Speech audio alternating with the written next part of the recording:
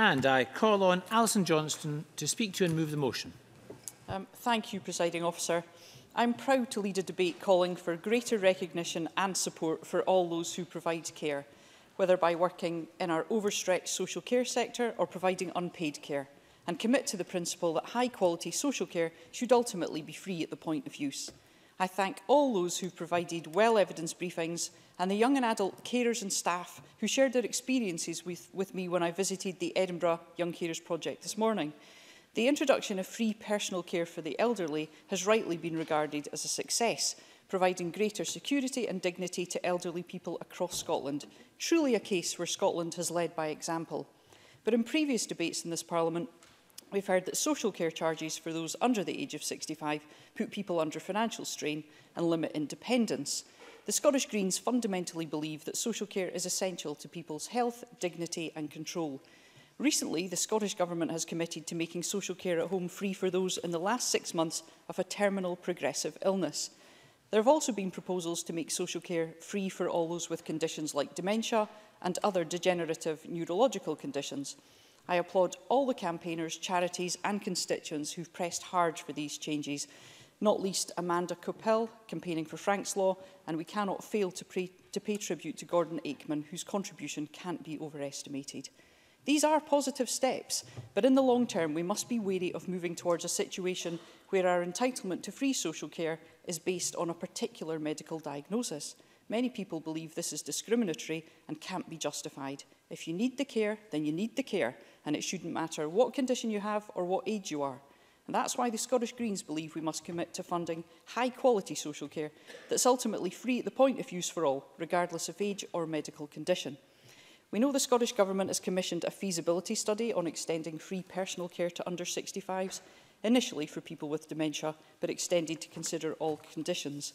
And the Cabinet Secretary for Health and Sport previously told us she'd be happy to use that study as the focal point for cross-party discussions on extending free personal care to under 65s. And I would ask the government to update us on the progress of that study and tell us when it will share its findings. It's time for those discussions on progressive changes to social care policy to begin and the government to make clear its position on the abolition of all social care charges. The integration of health and social care strengthens the case for moving towards a truly cohesive health and social care system, which is free at all points of use. But this debate is about unpaid carers too. According to Carers Scotland, unpaid carers save the Scottish economy £10.8 billion every year, close to the cost of providing NHS services in Scotland. Three out of five of us will become carers at some stage in our lives. But the value of work carers do is not recognised.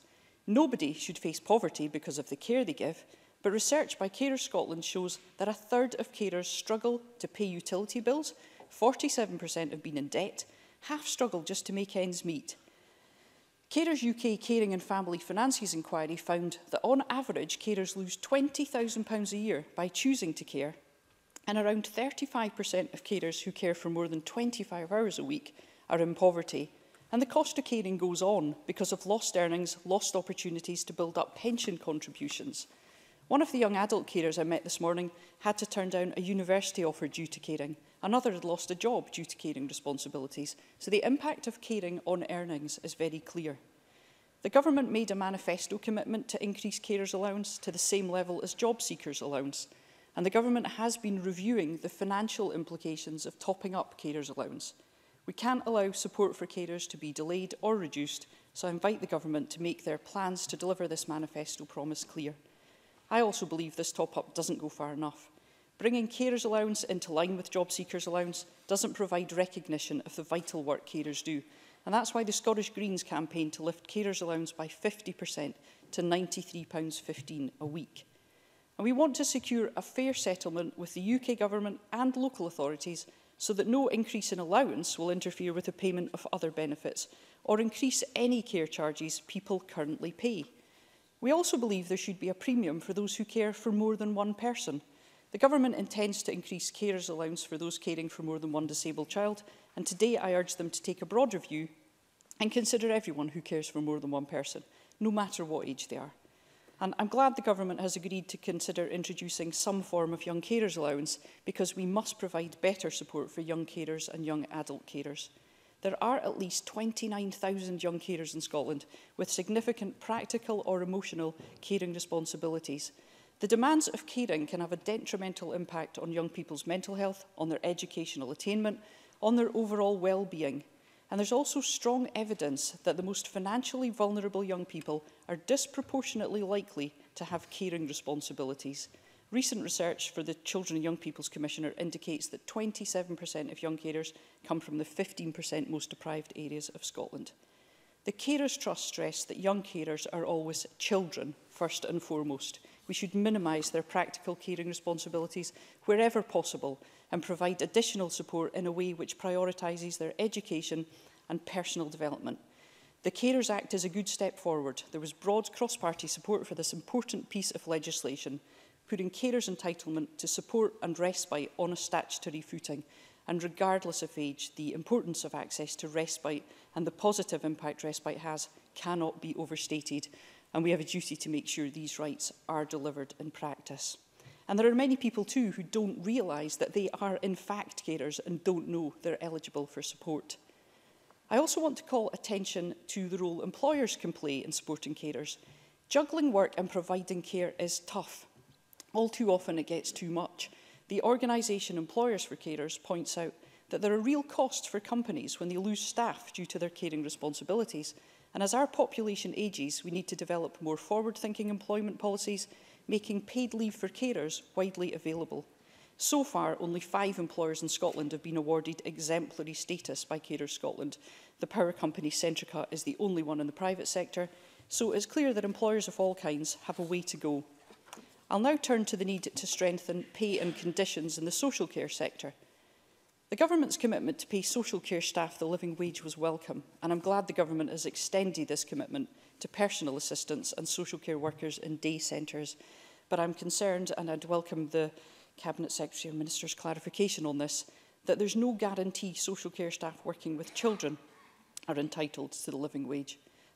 Moreover, the living wage doesn't reflect the incredible value of this work, its emotional demands, the deep commitment carers bring to every care visit in every home by every bedside. Scottish Care's report Trees That Bend in the Wind provides an insight into the challenging role of social care staff who support people with progressive illnesses or people who need palliative care. Not only do they deliver increasingly complex care for the most vulnerable, but many have direct experiences of being by people's sides as they die. They are a vital support for bereaved families and they have to manage feelings of loss themselves yet social care staff aren't afforded the recognition they deserve. And that's why the Scottish Greens want to pay all social care staff a living wage plus of £9.20 an hour. If we're serious about building a sustainable, compassionate social care system, pay for staff must reflect that. I believe it's the government's long-term goal that sleepovers are paid at the living wage and it would be helpful if we could hear about a timescale for achieving that. Now, I've heard from constituents working in social care that they're still not fairly paid for all the time spent travelling between shifts or for all the handover shifts they do. Appropriate pay and better working conditions are badly needed to help us recruit social care staff and to retain people with that experience. Good pay progression and training opportunities for people working in more senior roles are essential. Roles in social care should be seen as positions to aspire to, Carers should have more opportunities to specialise in particular forms of care and to work collaboratively with other health and social care professionals. Carers and third sector organisations have told me that they're not adequately represented on integrated joint boards. There needs to be more joint planning across the whole sector to ensure greater stability. And many of us will be aware of the worrying example in Kirkcudbright, where a private sector provider pulled out of providing day care services in a care home leaving service users with nowhere to turn. They were able to exit this contract with 90 days' notice. It's wholly inappropriate that crucial services can be pulled away like this. Nursing vacancies in our care homes are incredibly high, up to 28% of posts are vacant. In the past, NHS workforce planning hasn't reflected the need to fill posts across the social care sector too, and I hope the new National Health and Social Care Workforce Plan will change this because we really do need more stability, especially when Brexit could throw this already precarious sector into jeopardy. Immigrants make a huge contribution to our social care sector. We must protect their rights to live and to work here. And nor can we forget the need to improve the conditions and pay for all the other staff, the cleaners, the cooks who support the social care sector. It could not function without them. Presiding officer, without carers, the independence and quality of life of many is diminished. Human rights are not realised. Without carers, the burden on our National Health Service becomes even greater. Few jobs are more important. Let's make it clear that we understand that by making sure carers and all who work in the care sector have the recognition and the support they deserve. I move the motion in my name. Thank you. And I call on Cabinet Secretary Shona Robertson to speak to and move Amendment 5312.2.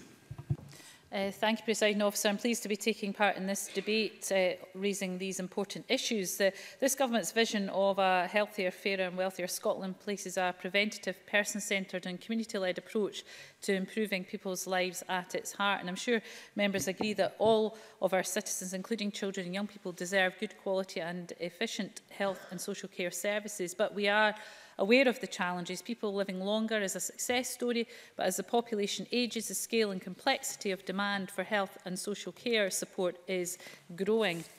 These changes mean that delivering services in the same way as has been done in the past is not sustainable. Radical service redesign, including the integration of health and social care, is required to meet these challenges. And it's not just the ageing population which presents a challenge. Some 47% of unpaid carers in most deprived areas of Scotland care for 35 hours a week or more. If not appropriately supported, such high-intensity caring can lead to increased social isolation and add to pressures both on the carers' finances and obviously on their health and well-being too. It's clear to me that we must do more towards tackling inequalities experienced by carers in these areas while supporting the whole population with their health and social care needs. Against this background of challenges, we are also continuing to make progress in improving the fairness of the system of charging for social care. Most recently, we provided local authorities with £5 million to enable them to exempt veterans' war pension payments from social care financial assessments from the 1st of April this year. Our next step is to undertake a feasibility study into the extension of free personal care to those under 65, building on the calls for Frank's Law. And I would also uh, pay tribute to the work of Amanda Copel and others.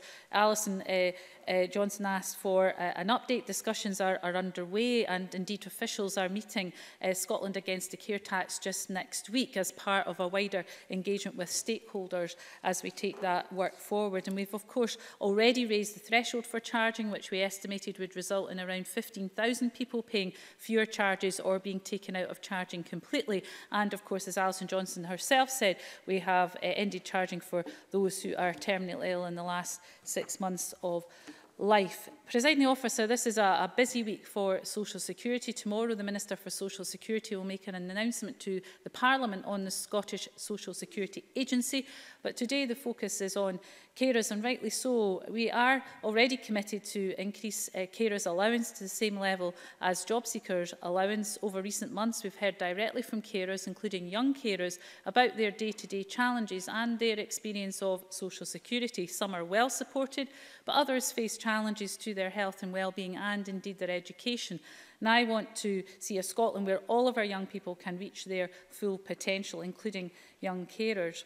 This government is happy to work with any social security ideas which improve the lot of the people of Scotland and I'm pleased to report that we're making good progress in our commitment initiated by the Green Party to explore the introduction of a young carers allowance for young people with significant caring responsibilities. Officials across government have engaged with a wide range of representative organisations to identify gaps and opportunities within the current uh, support landscape uh, for young carers. As the Chamber will be aware, the Carers Act comes into force next April and establishes new duties to provide support and information to adult carers and to young carers. New adult carer support plans and young carer statements will capture the support needs of carers, helping them to realise their personal outcomes to ensure that they can continue to care if they so wish and helping to improve their own health and well-being. This depends on meaningful, meaningful conversations with carers of all ages. It's our ambition that children and young people are better supported to help realise their own aspirations, including in work or in education. The Carers Act does not sit in isolation, but within the wider health and social care landscape. The new integrated health and social care partnerships are responsible for managing more than £8 billion of resources that NHS boards and local authorities previously managed separately – Planning, designing and commissioning services in a more integrated way from a single budget allows partnerships to take a more joined-up approach, enabling resources to be shifted based on local priorities to target preventative activity. In the coming year, there will be almost half a billion pounds of additional investment in social care and integration transferred from the NHS. We'll continue to shift the balance of care by increasing the share of the NHS budget dedicated to primary, community and social care in every year of this Parliament. Within this resource announced uh, by the Cabinet Secretary for Finance and the Constitution for 2017-18, we've made available £100 million to support sustainability in the care sector and the continued delivery of the living wage. This continued investment enables the, enables the real living wage as set by the Independent Living Wage Foundation to be paid on a full year basis and at the new rate of £8.45 per hour from next week. And we will give up to 40,000 people a well-deserved pay rise, mainly women, doing some of the most valuable work in Scotland as announced last month, will also provide local authorities with additional funding to extend payment of the living wage to all childcare staff delivering the funded early learning and childcare entitlement from the full rollout of the 1,140 hours in 2020. Up to 8,000 staff in the private and third sectors will benefit from this uplift. And this helps us continue our work raising the status and image of social care as a profession to help attract and retain the right people, which is central to our vision for social services in Scotland. This is something we all agree is of vital importance, particularly in the context of the challenges posed by the prospect of Brexit. We know that if Scotland loses access to the single market due to Brexit and with it the freedom of movement, this could pose a serious recruitment challenge for uh, social care. Yes, of course. Miles Briggs. staff will also be paid the living wage. Cabinet the, Secretary. The, the focus has been on those uh, workers delivering social care. Uh, this um, has been a, a very unusual step to have a government putting public money into essentially private sector organisations. That doesn't happen for any other sector. So tens of millions of pounds have gone in to private sector organisations to help them deliver the living wage. But as Miles Briggs will appreciate, that has focused on those who are delivering the social care uh, to, uh, to service users. It is, of course, for employers in terms of any consequential knock-on effect uh, to terms and conditions of their other staff, to address that as part of their, their business delivery. But I think it's quite right that our focus has been on uh, social care staff, given uh, that it is from uh, public money. We need to make sure that that delivers uh, as much uh, uh, social care uh, retention and recruitment um, uh, as possible. As part of our efforts to raise the status of social care, we are making important progress towards social care being a regulated profession. Uh, to maintain registration, staff must continually update their skills and knowledge. This approach will continue to improve the delivery of social services and protect service users through ensuring a competent, confident and skilled workforce. Uh, Aileen Campbell will address the issue of sleepovers because I realise I have not got time to do that. So Aileen Campbell will do that in her closing remarks. But, presiding officer, I'd like to thank Alison Johnson for bringing forward this motion and I move the amendment in my name. Thank you, Cabinet Secretary. And now call on Annie Wells to speak to and move Amendment 5312.1. Thank you, Presiding Officer. I am pleased to have the opportunity to speak in this debate today and pay my gratitude to the hundreds of thousands of social work staff members and unpaid carers who work tirelessly to support children and adults in need or at risk in Scotland. Social care, an umbrella term for social work, personal care protection or social support services for those in need or at risk, whether this arises from illness, disability, old age or poverty, has changed for the better over the past 50 years. As I am sure we will all agree on today, health, dignity and control should always be at the centre of social care policy. We are moving in the right direction, despite the fundamental concerns colleagues and I will expand upon later. Beginning with the whole-scale transformation of social care for those with learning disabilities, support has shifted away from institutionalisation towards promoting independence in community-based settings. This move is still underway for mental health patients, and I welcome the progress being made to support people away from hospital and in truly person-centred surroundings. The benefits of this process are unquestionable, and we hope this will be extended even further through self-directed support, legislation which aims to give people control over their own support. After the Social Care Self-Directed Support Act came into force three years ago, obliging local authorities to offer people eligible for social care a range of choices over how they receive their support. People are now assessed and a budget is awarded to meet their support needs. Service users now have four choices to either take a direct payment, a cash payment for them to purchase support directly, to choose a provider but have the council hold the budget, to have the council arrange their full support, the support in full, or a mixture of the previous three. And as I have said, the benefits of this person-centred care are dramatic. I recently had the chance to speak to someone who worked for a social care provider and was able to recite accounts reinforcing this opinion. One gentleman who moved to supported living from hospital would always leave his lights on, not because he was incapable, but because he had lived in the hospital for most of his life, where nurses switched the lights on and off for him. Another instance was a woman who loathed showering due to a hospital ritual whereby every morning she would be forced to shower straight, straight away following horrific nightmares moving out of hospital and the freedom this gave her to choose whenever she wanted to shower, followed by a more soothing after ritual of a coffee and a cigarette to help calm her down, meant she was able to overcome this fear. These were both mental health patients who had lost all sense of independence and control while hospitalised for such a long time, and whose lives were improved dramatically by being offered choices and dedicated personalised support. Despite these positive steps, however, I would like to point out the concerns many of us share. There are grave issues when it comes to recruitment and retention, something my colleague Donald Cameron will go on to talk about in more detail. And there are fundamental issues when it comes to staff numbers and working conditions. We do have an ageing social care workforce with ever-increasing workloads, and we need to provide the conditions and career opportunities in this sector that will support those people. Yes? Patrick Harvey. I'm, uh, I'm grateful to the member for giving way. She recognises the importance of this work, as well as the challenges of recruitment and retention. Why then does the Tory amendment delete any reference to either the Green proposition for a Living Wage Plus or even the real living wage itself? Why isn't a decent wage a reasonable recompense for this important work? Before I call to respond to that, Ms Wells, just to say that there's time in hand for all members who want to make interventions in this debate, so we can be quite generous. Ms Wells. Thank you, Deputy President Officer.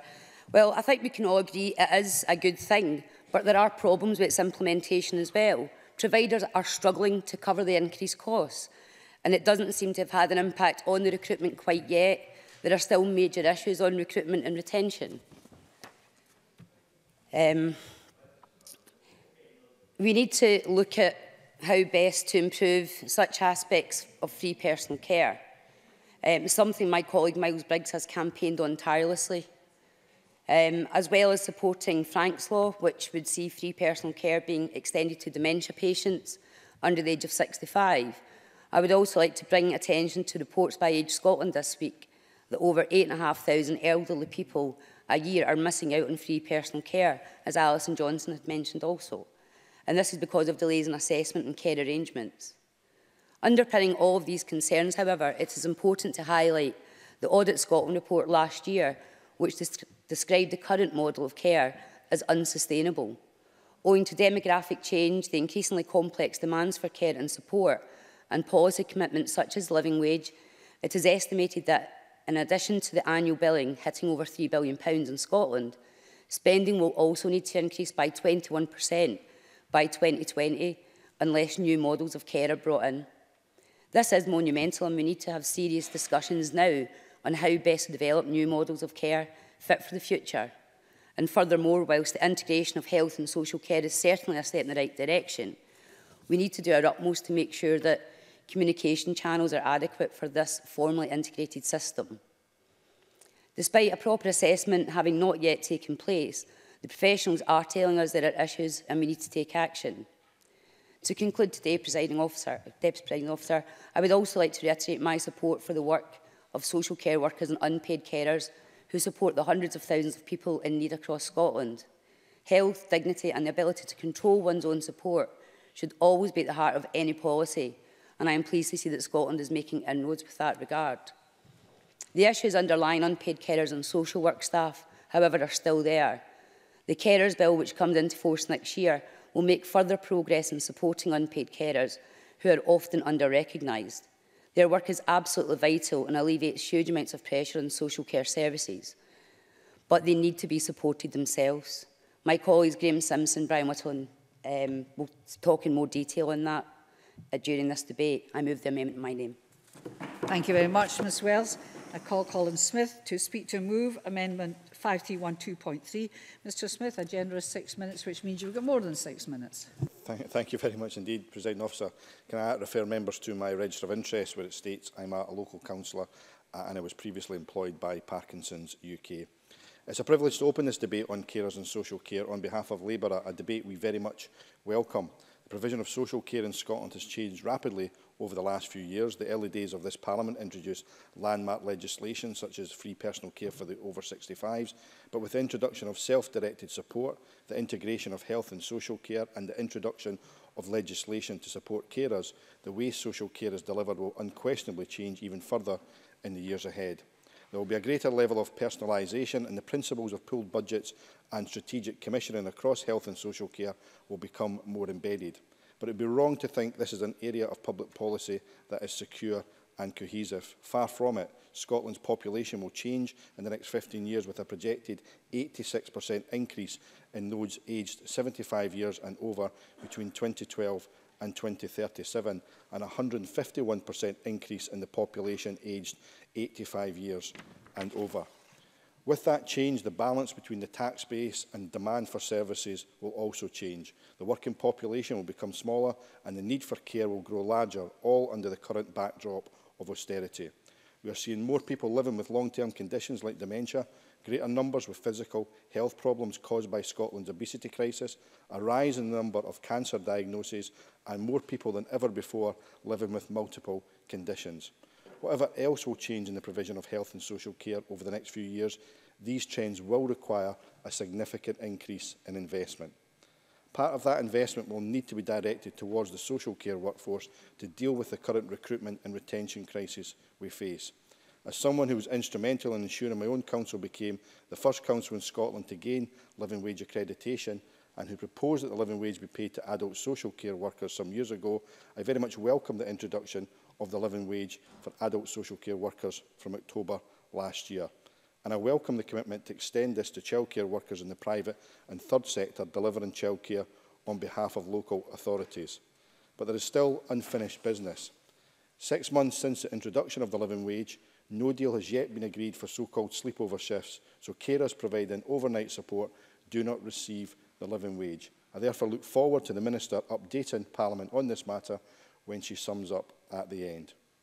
We need to build on the living wage by not only having fair pay, but by ensuring that all care staff are paid for travel costs and travel time. No one working in social care is left on a zero-hour contract, and our social care workforce are provided with adequate training and the time to care. Indeed, I commend Unison's Ethical Care Charter as a template for the fair and ethical employment practices we would all like to see. We also have to ensure that a proper career structure is developed for those choosing to work in social care that connects to professional occupations such as nursing or social work. Equally, unpaid carers must be properly recognised as partners in the provision of support. Those carers are the unsung heroes of our country. There are nearly three quarters of a million adult carers in Scotland and nearly 30,000 young carers dedicating their lives to caring for others and in doing so, as Alison Johnson pointed out, saving the Scottish economy £10.8 billion a year because of their selfless care and attention. Yet Carers Scotland recently reported that a third of those carers are struggling to pay utility bills. 47% have been in debt and half are struggling to make ends meet, cutting back on food and heating as a result. Bringing carers allowance in line with job seekers allowance would increase a carer's income by £600 a year. The Scottish Government has had the power to deliver this increase since last September, and in March, new powers to overhaul carers and disability benefits were devolved to the Scottish Parliament. Those new powers give us the chance to build a truly fairer Scotland, but we need to move past the warm words of support and onto real action. So again, when summing up, I hope the Minister will give those carers the certainty and respect they deserve by telling Parliament when the Government will actually bring forward plans to top up carers' allowance. Now, as well as a better deal for those who provide care, we need one for those who receive that care. It's now 14 years since the last Labour-led government introduced free personal and nursing care to everyone over the age of 65. Today in Scotland, around 77,000 older people benefit from that policy. However, to use the words on the Frank Laws campaign website, no disability, illness, condition or disease waits until a person reaches the age of 65 and then strikes. Across Scotland, 90,000 people are living with dementia and not all of them are over the age of 65. In fact, more than 3,000 are under the age of 65. If any of those 3,000 people require personal care, as we all know, they are financially assessed by the local authority to determine whether they should make a financial contribution towards that care. Where they live often depends how much they pay is the same for other long-term conditions, including motor neuron disease, Parkinson's, multiple sclerosis, cancer and many others. In our election manifesto, Scottish Labour made a commitment to work towards the abolition of such care charges for all those under the age of 65, to go beyond Frank's law, and I reiterate that commitment again today. President Officer, I began my speech by saying health and social care will require a significant increase in investment. That means an end to cuts to local councils over £1.5 billion has been cut from council budgets since 2011 by the Scottish Government. The consequence is a social care system already under pressure without the growing demand we know is on its way. Last week, Age Scotland revealed that over 8,500 people a year in Scotland wait longer than six weeks for a care assessment. Scottish Care Survey showed that three quarters of care homes have vacancies for staff and 90% of care at home and house support services had positions lying empty. Since the Health Secretary promised to eradicate delayed discharge in May 2015, 680 people have died in hospital while waiting to be discharged. We need to stop the cuts to local councils now, all of them, not just some of them. This Parliament can do that. We have the powers to make different choices, to be progressive, to say that if we want decent social care, we need to fund it properly. That means being honest with the public and saying that those with the broadest shoulders will have to pay more to fund that extra social care. I therefore move the amendment in my name.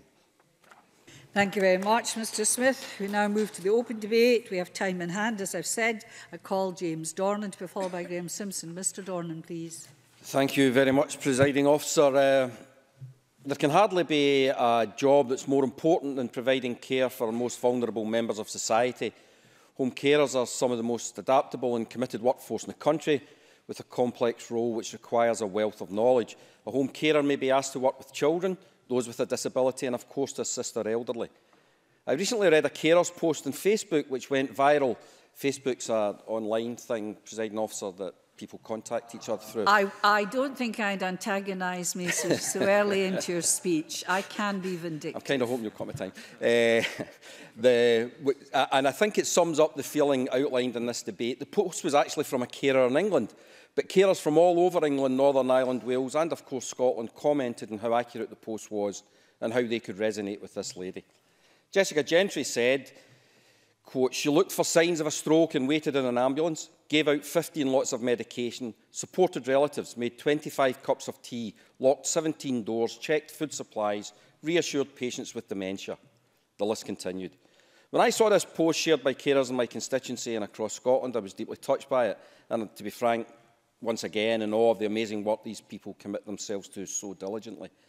If my relative was in need of care, I would hope that they would receive the best care we were able to provide. In order for us to provide a full and comprehensive care package to those most in need, then we must support those carers who are at the front line when it comes to provision.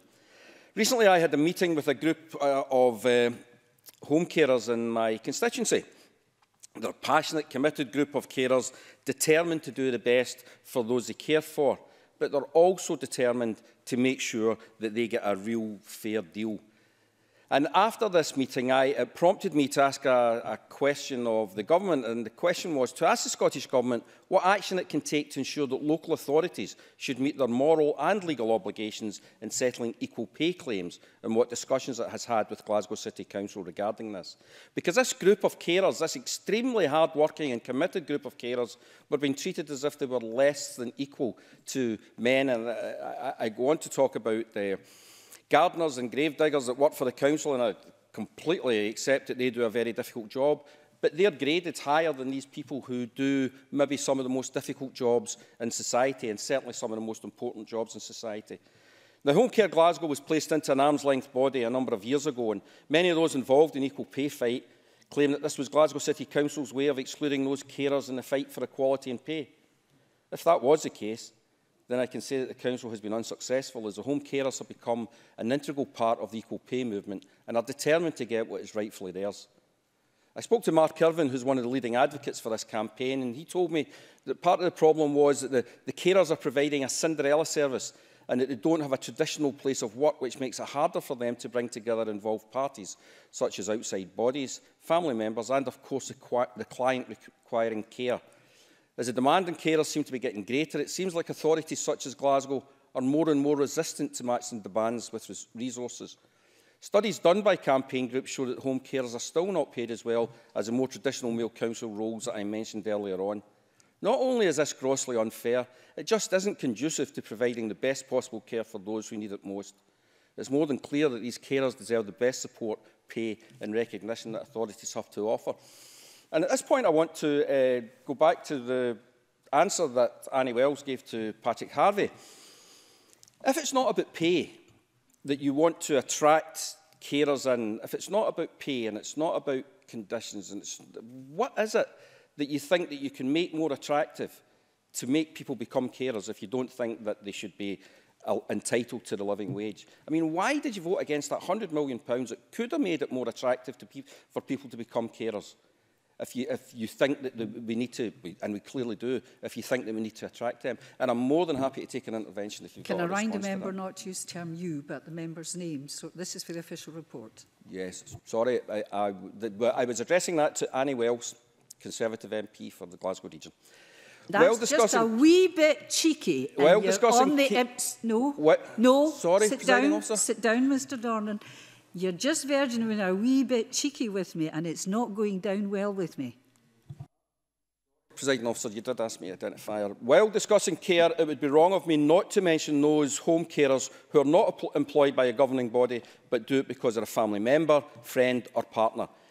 Many people are unable to seek employment because they're committed to the care of a loved one, which is not only a vocation but a role which takes considerable strain off local authorities and organisations. Young carers in my constituency are among some of the most remarkable young people I have ever had the privilege of meeting. They often do a job beyond their years while at the same time trying to study and plan for their own future. And that's why I'm thrilled that the Scottish Government is looking at young carers allowance. Another way of ensuring both the cared for and carer are supported in equal measures. When I first got elected, it was in 20, 2007, uh, as a councillor. And my very first um, official duty uh, was to attend the Glasgow South East Carers, and it was an event on young carers.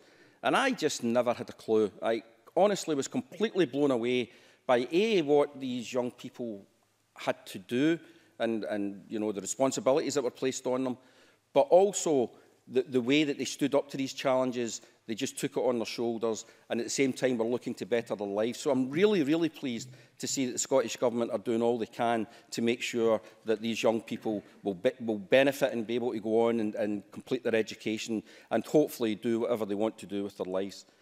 As, as has been mentioned already, all, the government has already committed to taking carers' allowance up to the level of job seekers' allowance, which would just mean that carers would receive an extra £600 a year, an 18% rise. The Tory cuts to disability benefits has had a catastrophic effect on many of those in Scotland who should be being looked after and protected by the system the most. In order for the Scottish Government to be able to do this properly, they have to continue with appropriate consultation, and I look forward to seeing this being passed as legislation after it follows proper parliamentary procedure. And, and, and I have to take uh, Colin Smythe up on his point there. The, the opposition must know fine well that the Scottish Government have to do this in consultation with the DWP. They already know that they're in that process and they already know that until such times as there's been an agreement with the DWP for, for, for that to be rolled out, then it becomes very difficult to do so. So you can't ask for a date whilst we're already in the process of trying to get the, the, the procedures in place. I did see a, um, a dig by one of Mr Smith's uh, colleagues in Even Times earlier this year and he seemed to be keen to criticise the government who's committed to getting it right when it comes to all the new powers. However, I would agree with Mr Sarwan on one quote when he said, carers are the unsung heroes of our communities. Thousands of people dedicate their lives to caring for others and save the government, especially our NHS and social care system, thousands of pounds because of their selfless care and attention. I should probably then challenge him on this because if you feel so strongly about carers, what about the carers who are paid by Glasgow City Council and are being treated with what seems to me like complete and utter contempt in their fight for equal pay? When we stand up for carers, we must stand up for all of them, because no one role is worth more than the other, be it private, be it kinship carers, be it third sector organisations and many more who are ensuring the most vulnerable in our community are not only looked after but continue to play a worthy and functioning part of that fairer Scotland which we all seek. Thank you. Thank you very much, Mr Dornan. Call Graham Simpson to be followed by Kate Forbes. Mr Simpson, please. Thank you. Can I first of all thank the Greens for bringing this issue to Parliament, it's important that we discuss social care and carers. It's an issue that affects people directly and will continue to impact on them when the Carers Scotland Act comes into force next year. Deputy Presiding Officer, one in six of Scotland's population is an unpaid carer. There are 759,000 adult carers and 29,000 young carers. In 20 years, there could be a million carers in Scotland. These are extraordinary statistics. But carers do what they do, not for money, but for love. Many of us in this chamber could either be a carer, become a carer, know a carer, or at some point in our lives need a carer. It's important that those selfless people looking after others are given the rights and entitlements that flow from the Act, such as the right to support if they qualify. It's also vital that sufficient resources are available to fully implement the new duties. And the problem is that we don't know with any degree of certainty what it will cost. What we can be certain of is that the majority of costs, 94%, will fall on councils. And they, as most of us here know, have seen year-on-year -year cuts in budgets from the Scottish Government. So first, I'll talk about that broad financial scenario around social care before coming back to carers themselves. Audit Scotland said last year that current approaches to delivering social work services will not be sustainable in the long term. There are clear risks that reducing costs further could affect the quality of services. It's pretty obvious too that if the SNP's squeeze on councils continues, then some could simply change the rules on eligibility to make, few, make sure fewer carers qualify for help. So a well-meaning, uh, let me continue this point then I'll let you in. A well-meaning act of this Parliament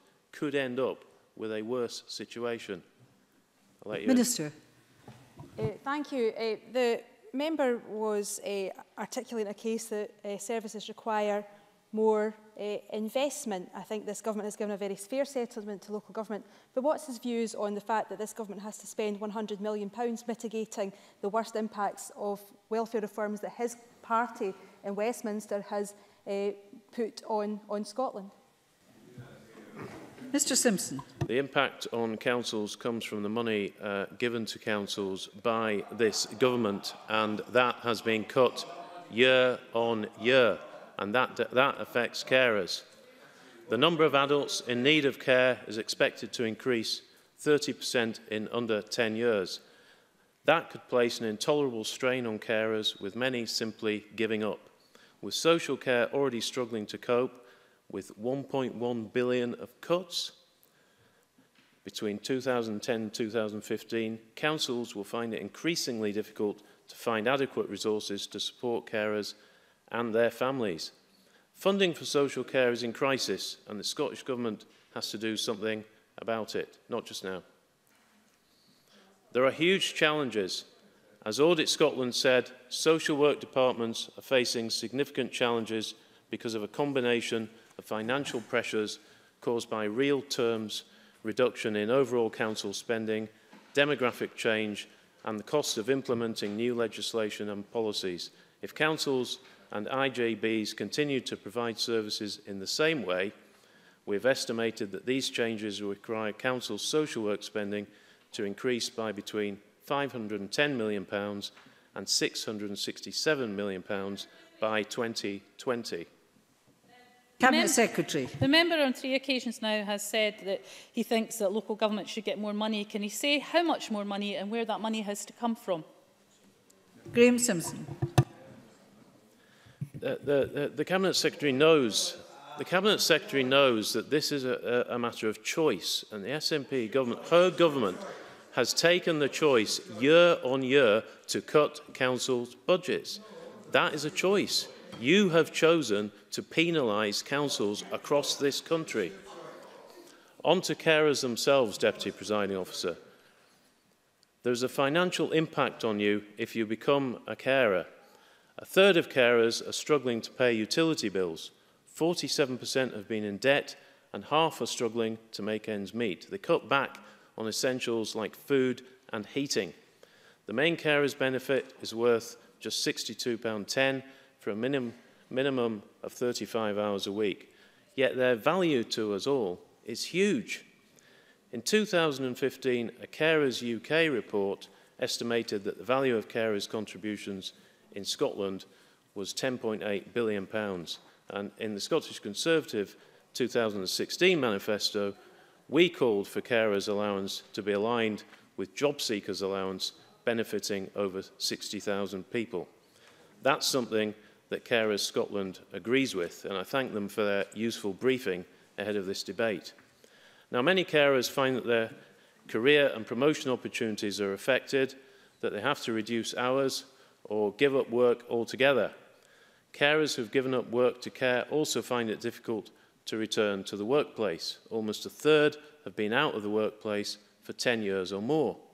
A quarter of carers not currently in work say they would like to return to work, and almost two thirds would like to when their caring role has ended. Carers care, and we should care for them. They deserve a break now and then. Providing short break opportunities for carers and those who care for those who they care for is vital, but the availability and choice of short breaks across Scotland for them varies considerably, and there's growing evidence of significant cuts to existing levels of service provision. I'd like to close by quoting from a briefing sent in by Marie Curie, which I think sums it up. Caring for those with long-term illness and coming to the end of life can be all-encompassing.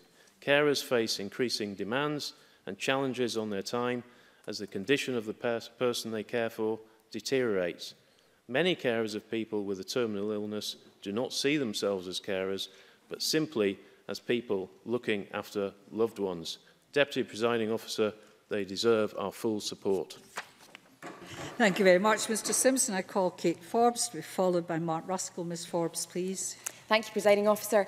A person far better and wiser than I am said that the true measure of any society can be found in how it treats its most vulnerable members. But, presiding officer, in today's debate, I want to push that further to say that how we support those who care for our most vulnerable, who give so much of their time, energy and care to those who need it most, how we support carers demonstrates how much we value our most vulnerable. For too long, carers have been under-supported, undervalued and underpaid, and that is a poor indictment on how we have cared for those who care, both paid and unpaid carers. My two sisters currently work as carers and I'm absolutely in awe of their hard work. I remember last summer after I was first elected being asked by a friend how busy I was as I stood next to my sister who'd been doing 12-hour shifts of back-breaking, emotionally intensive and pressurised work and thinking, ask her, she's the hero here. And then last Sunday, as I was getting ready to go to my nice warm bed, my other sister was travelling across Edinburgh at 10 pm to do a sleepover, which probably had very little to do with sleep. So I think my sisters are pretty incredible. but I respect them even more for the work they do for the sake of others. It's not easy, but it's of enormous value. My sisters and every other carer in Scotland, paid and unpaid, are absolutely brilliant. But whilst I'm sure our rhetoric is caring and supportive, it's our actions that really count. And that's why it's not just unfair that support in the form of the caterer's allowance is the lowest of all working age benefits. It demonstrates that our actions have fallen seriously short of caring for caterers.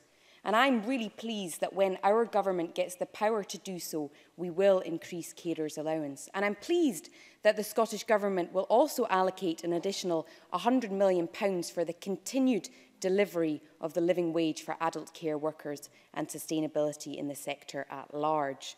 My hope is that this attracts more people into this vitally important role of caring and sends a message to current carers that they are greatly valued and we could not do without them. I hope it further raises the status and image of social care as a profession too. Lack of carers is certainly a challenge in the Highlands, as we've seen recently in the news as the Haven care home in Uig announced it was closing due to a difficulty in finding carers. And that is a challenge for other residential care homes too, who find it harder, particularly in the Highlands, in rural, smaller areas, where it's harder with fewer beds to make ends meet. The challenge is then also for elderly people who have to move, sometimes quite a distance away from home, perhaps from a partner who may or may not be able to travel and visit. And so, attracting and retaining the right people in the right places goes right to the heart of how we treat people with dignity, respect and fairness when they need care, wherever they live. And so delivering community-based services through the integration of health and social care means that rural residents can get the care and support they need and stay in their own homes for longer. And that takes on greater importance in the rural highlands. For those who are caring in the community, there are other challenges, not least travelling many miles in one day, and so support for carers should recognise those added pressures of working in rural areas if we are to recruit enough carers to care for those who need it in the Highlands. Carers are each unique and they meet the unique needs of those for whom they care. Almost one in five of Scotland's adult population are carers, and there are almost 30,000 young carers under 16, according to Carers Scotland, which is 4% of the population under 16. And that does not include the hidden carers, those who have not been identified and are being, not being supported by services. So for unpaid carers, their caring role is usually an extension of their love for family, friends and neighbours. But there are still the sleepless nights, the heavy physical work, the potential for loneliness and isolation, and the unlikelihood of a break or a holiday. And on top of that, perhaps a full-time job or full-time studies, the struggle to pay utility bills or food. For young carers, there are real challenges in continuing with education in school, college or university.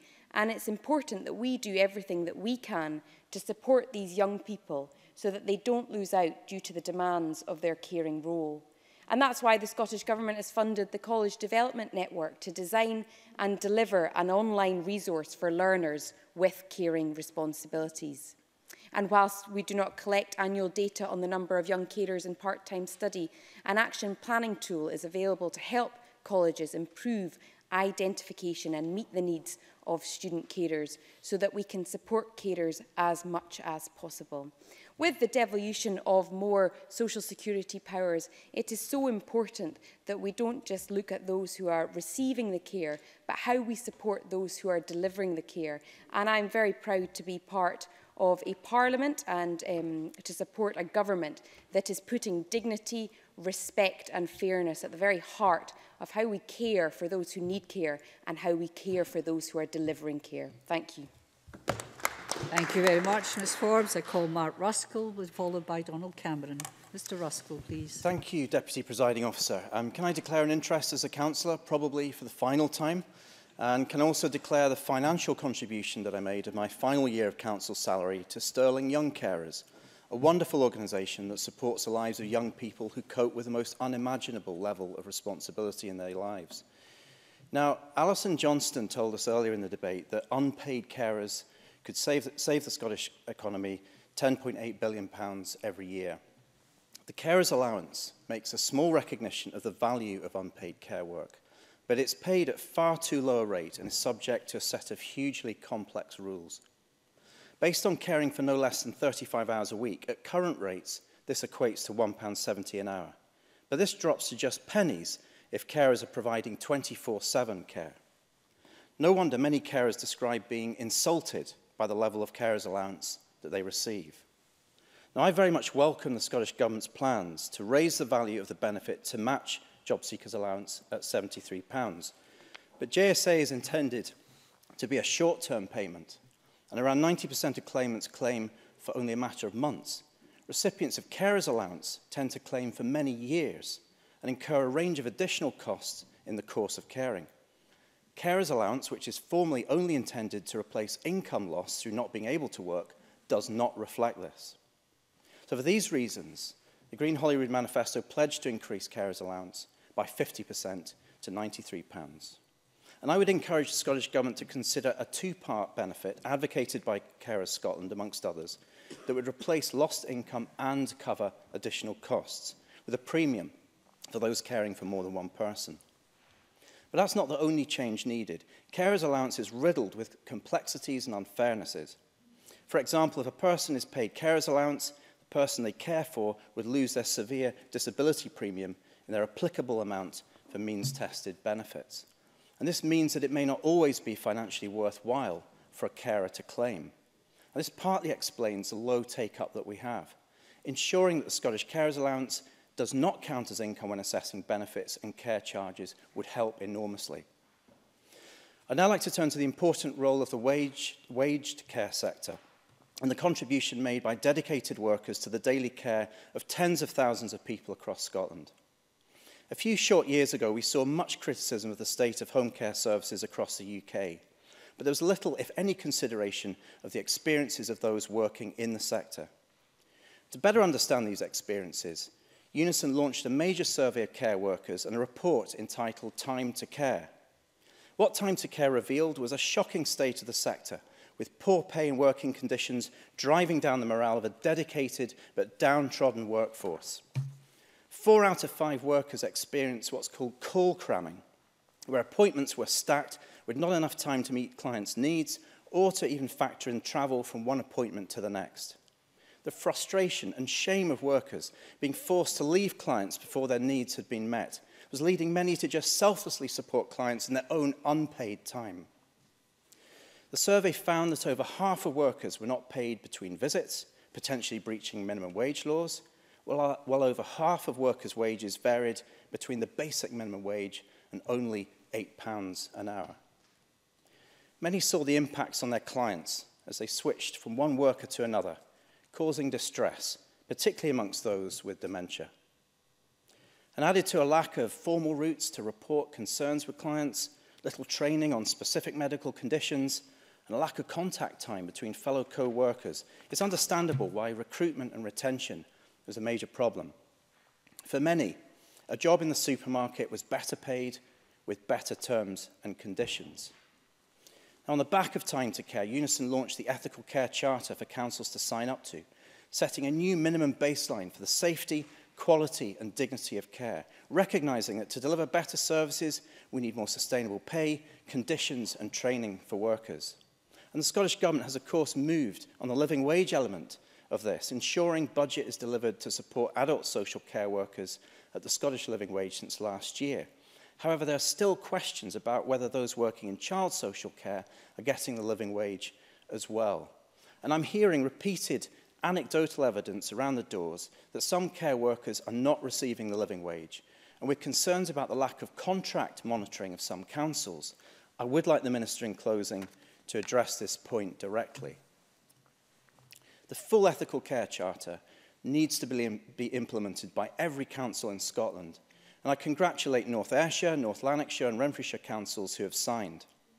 I pushed the charter hard in my own council in Stirling, and while it has stopped short of signing up in full, it's 95% of the way there, with the remaining legacy contracts being addressed in the months ahead.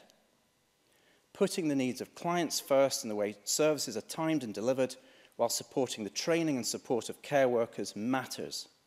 Applying a decent living wage of 9.20 an hour, ensuring sick pay, and an end to zero hours contracts and unpaid travel time builds a workforce who are respected and valued for the incredible work that they do.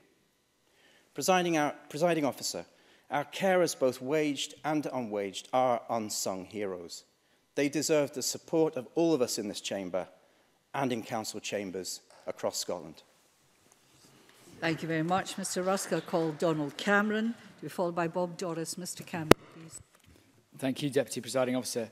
Um, this has been an extremely interesting debate. I'm delighted to be able to contribute on what is a significant and, and highly important matter.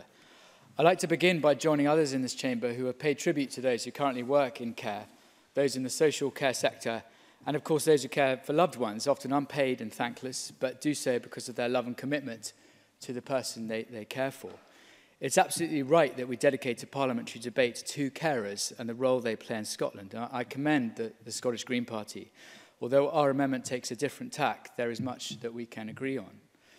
This type of debate may be technical at times, but there's always a real person that our actions affect, whether that be a care worker, a young person caring for their parent, or indeed parents caring for a vulnerable child. And it is, of course, MS Awareness Week, carers play a, a huge role in caring for those with MS, and I would like to draw attention to George Adams' members debate, which follows decision time, and I look forward to participating in that, and I hope many others do too. I want to focus on social care in particular, and we'll cover on an area that has come under close scrutiny for some time, which is the, the re retention and recruitment of staff. This is pertinent across Scotland, but representing a particularly rural area – I'm acutely aware of the issues around needing to find car drivers for carers, issues about travelling to and from employment during working hours, sleepovers, and the pressure on keeping remote and rural care homes open. Kate Forbes has mentioned one, but uh, I, I feel I have to mention Auchinleigh and Campbelltown and Struan Lodge in Dunoon, which I, I recently visited and met with staff there. Uh, just this month uh, on staffing, the Herald newspaper ran a story focusing on research carried out by the voice of the independent care sector, Scottish Care, which found that more than three quarters of care homes have unfilled staff vacancies and that nine in 10 care at home services say they have difficulty in filling positions.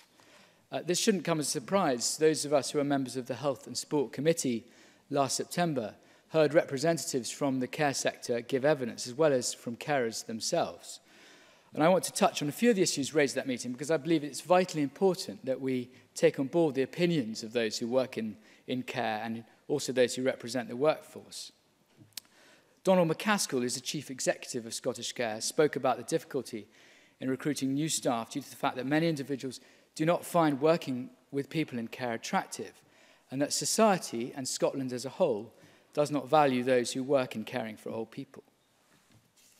Scottish Care have also highlighted the um, shortage of nurses in care homes uh, and the vacancy rates there. Given the large proportion of care provided by the independent care sector on behalf of local authorities, this is highly concerning. Annie Garner Logan from the Coalition of Care and Support Providers in Scotland argued that the way that care is currently being delivered in Scotland isn't sustainable. She was critical of workforce planning and the way that care is procured by care providers. In her evidence, she said that it has become very difficult for care providers to plan ahead on the basis of existing framework contracts, which says, she says, means that they have no sense of the number of people they might have to support in the future or the number of hours of support that they might have to provide. It is clear from this evidence that working in care is often seen as unattractive, and given the issues this raises for both the workforce and indeed care providers, we assist, see a system that is in many ways unworkable and unmanageable. An interesting point, and others have made it this afternoon, that Anigana Logan made reference to, uh, was a claim that it would not be much longer before every single school leaver would have to go into the care sector if it was to be kept afloat. That's a startling and, and worrying claim. Similarly, the evidence presented in committee last September suggested that 60,000 new social care workers are required to meet the demands of an ageing population. That also is particularly, particularly stark. Um, and it is true to say that staffing cuts across both the independent and the public care, social care sector. I'd like to move on to staff morale. Um, a survey carried out by the Institute for Research and Innovation in Social Services show not only that is, is the workforce aging and increasingly aging, but there is an increasingly overburdened workforce. 62% of carers said they had to do additional work most weeks, and almost 9 in 10 said they've seen a reduction in the support available to service users. And like others across this chamber, in layman's terms, those on the ground have less time to do what they do best, which is caring for some of the most vulnerable people in our society. As one carer put it in a survey, staff are pushed more and more and more. Carers Scotland noted that 80% of carers feel that their own personal health is worse because of their job. And given the fact that the current average rate of staff turnover sits at 22%, it's clear that there is a major problem that requires solutions. Having been in this chamber for almost a year now, a large part of my debating time has been about highlighting the staffing crisis uh, across the NHS, but also the social care sector. Recruitment and retention has been highlighted time and time again by professional bodies uh, and in the Health Committee, and the Scottish Government urgently needs to put a plan in place to deal with this. In conclusion, uh, Deputy Presiding Officer, it is clear that we need to make care a more attractive career option and break down the barriers that stop people entering the profession. We need to listen to the professionals more now than ever as to why these problems have persisted and are now becoming increasingly exacerbated. And above all,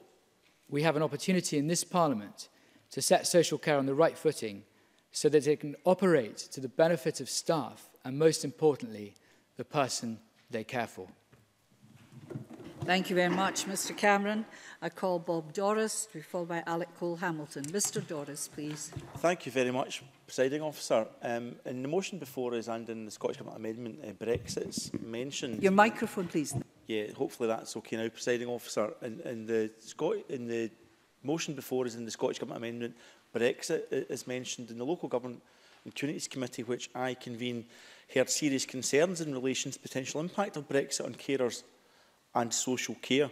We conducted a number of evidence sessions and heard from various organisations, including COSLA and the STUC it can be difficult, as we've heard, it can be difficult to recruit and retain staff within social care and to have the staff view it as a first choice career and of significant value to society. Carers in the social care sector are worth their weight in gold, but they're not always paid their weight in gold, that's for sure, and we've heard some concerns over that today. That's why the move towards the real living wage is a significant move forward by the Scottish Government, underpinned by £125 million of funding.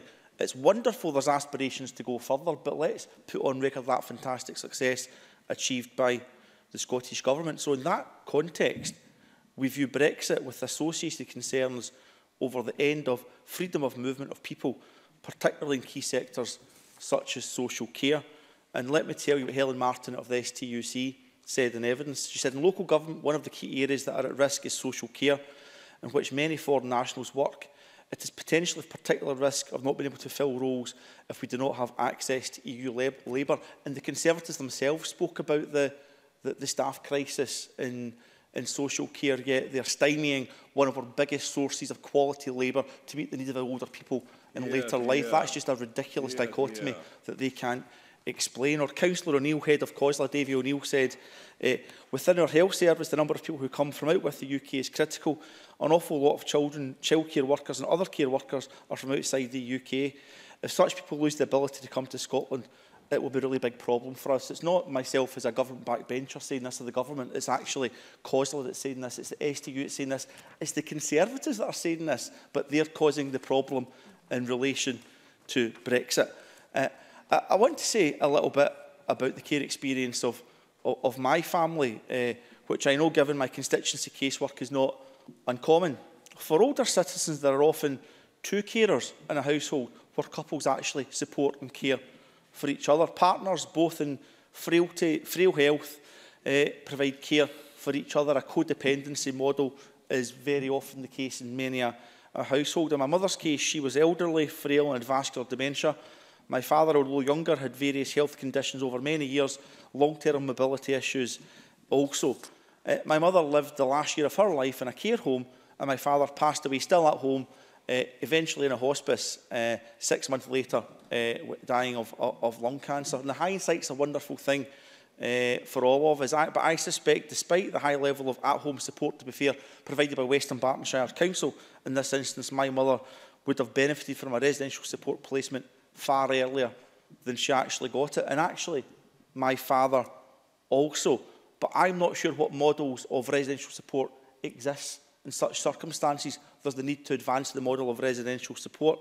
Why wouldn't we consider identifying a joint care home placement for a couple who are hurtling towards the obvious need for residential care? Why would we have a situation where you compound bereavement in a family by tearing one lifelong partner away from the other to residential care. And then when the second partner is residential care, the opportunity of actually having a co-located care placement is almost non-existent. Two people living in different care homes. That wasn't the situation in my mother and father's case, but I merely make the point that I know that is the situation because I've got a constituency case at the moment uh, where I haven't actually asked permission to share the full details of it. So I'll merely say that I have a constituency case at the moment where that looks like it might be the situation. And I'm not actually criticising at the moment the local authority or the Integrated Joint Care Board. I'm not sure we have the models available to work that one out, but I think we have to do that. I think it's an imperative going forward with an ever-aging. It's a good thing with an ever-aging population, but why would we have people who are living older and frailer? Why would we separate them from lifelong partners? It's the wrong thing to do. We must build models of residential support that can, can look at, at that matter, and I hope that's something at some point that uh, the Scottish Government can, can do. Uh, I want to say a little bit about uh, health and social care integration uh, and actually restate some of the housing issues that I raised uh, in relation to the debate led by Neil Finlay as convener of the Health and Sport Committee uh, last week in this chamber because that links into issues of the care tax and issues of uh, free personal care at the point of need and indeed increasing and advancing free personal care. Um, I've got a couple of constituency cases at the moment where the only way to keep people at my, my, two, my constituents at home would be, and they own their own house but they're on a low income, would be to build an extension. We have to get financial models around that to make that happen. But I get the issues, as I said last week, about the equity within that house. And it's having models available to sustain them at home, but making sure the public purse is protected. I've got another constituent who owns the, their flat who desperately needs ground level accommodation. We have to make sure health and social care services and the housing association, who I hope will buy that flat back, eh, work eh, seamlessly eh, to make sure that my vulnerable constituent is protected, but also to make sure that the public purse is protected and that's sustainable as well. Can, can I finish off, and I'm hoping I can find the, the quote I'm looking for. Yes, here it is. Can I finish off by saying I'm trying to give uh, consensual ways we could develop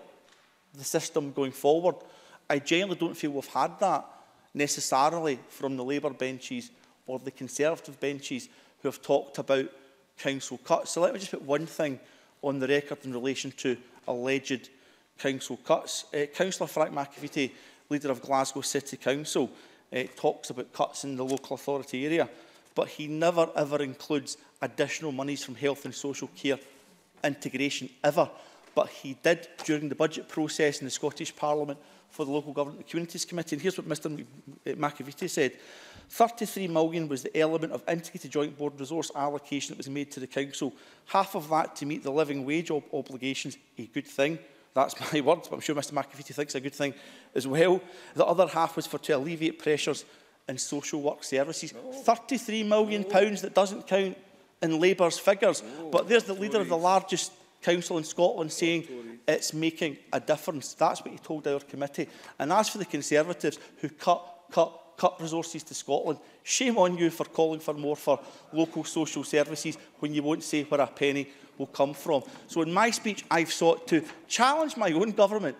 for where the system has to be improved and do that with a degree of consensualness. I hope that continues by others in this debate. Thank you. Thank you very much call Alec Cole-Hamilton, followed by Stuart McMillan. Mr Cole-Hamilton, please. Thank you, Deputy Presiding Officer. I'd like to start by thanking the Scottish Green Party for bringing this important motion to Parliament today, and I can assure them of our support. I also refer members to my declaration of interest in respect of the fact that before I came to this place, I worked for the children's charity Abelara, which provides a range of support services to children with disabilities and their families. I share the sentiments of every member in this chamber who has spoken this afternoon in the spirit of that shared belief that carers in Scotland are without question the unsung heroes of our nation. We rely on them to fill the gap that we can't meet in the delivery of health and personal care services to the tune of somewhere north of 11 billion pounds a year. We rely on them to respond with flexibility and speed to the needs of the people that they care for when that situation deteriorates, and we rely on them to accept monumental disruption that late night emergencies, protracted hospital stays, red tape in the welfare system can all exert in their daily lives. Every week, I seek to help constituents who are working their hearts out to provide care for the children that they love but seem to do so in near isolation. People like Khalida Hussein, who was relieved to finally get a diagnosis for her severely autistic son a year ago, only to discover that meant joining an even longer waiting list for assessment and resource allocation, which she is yet to receive.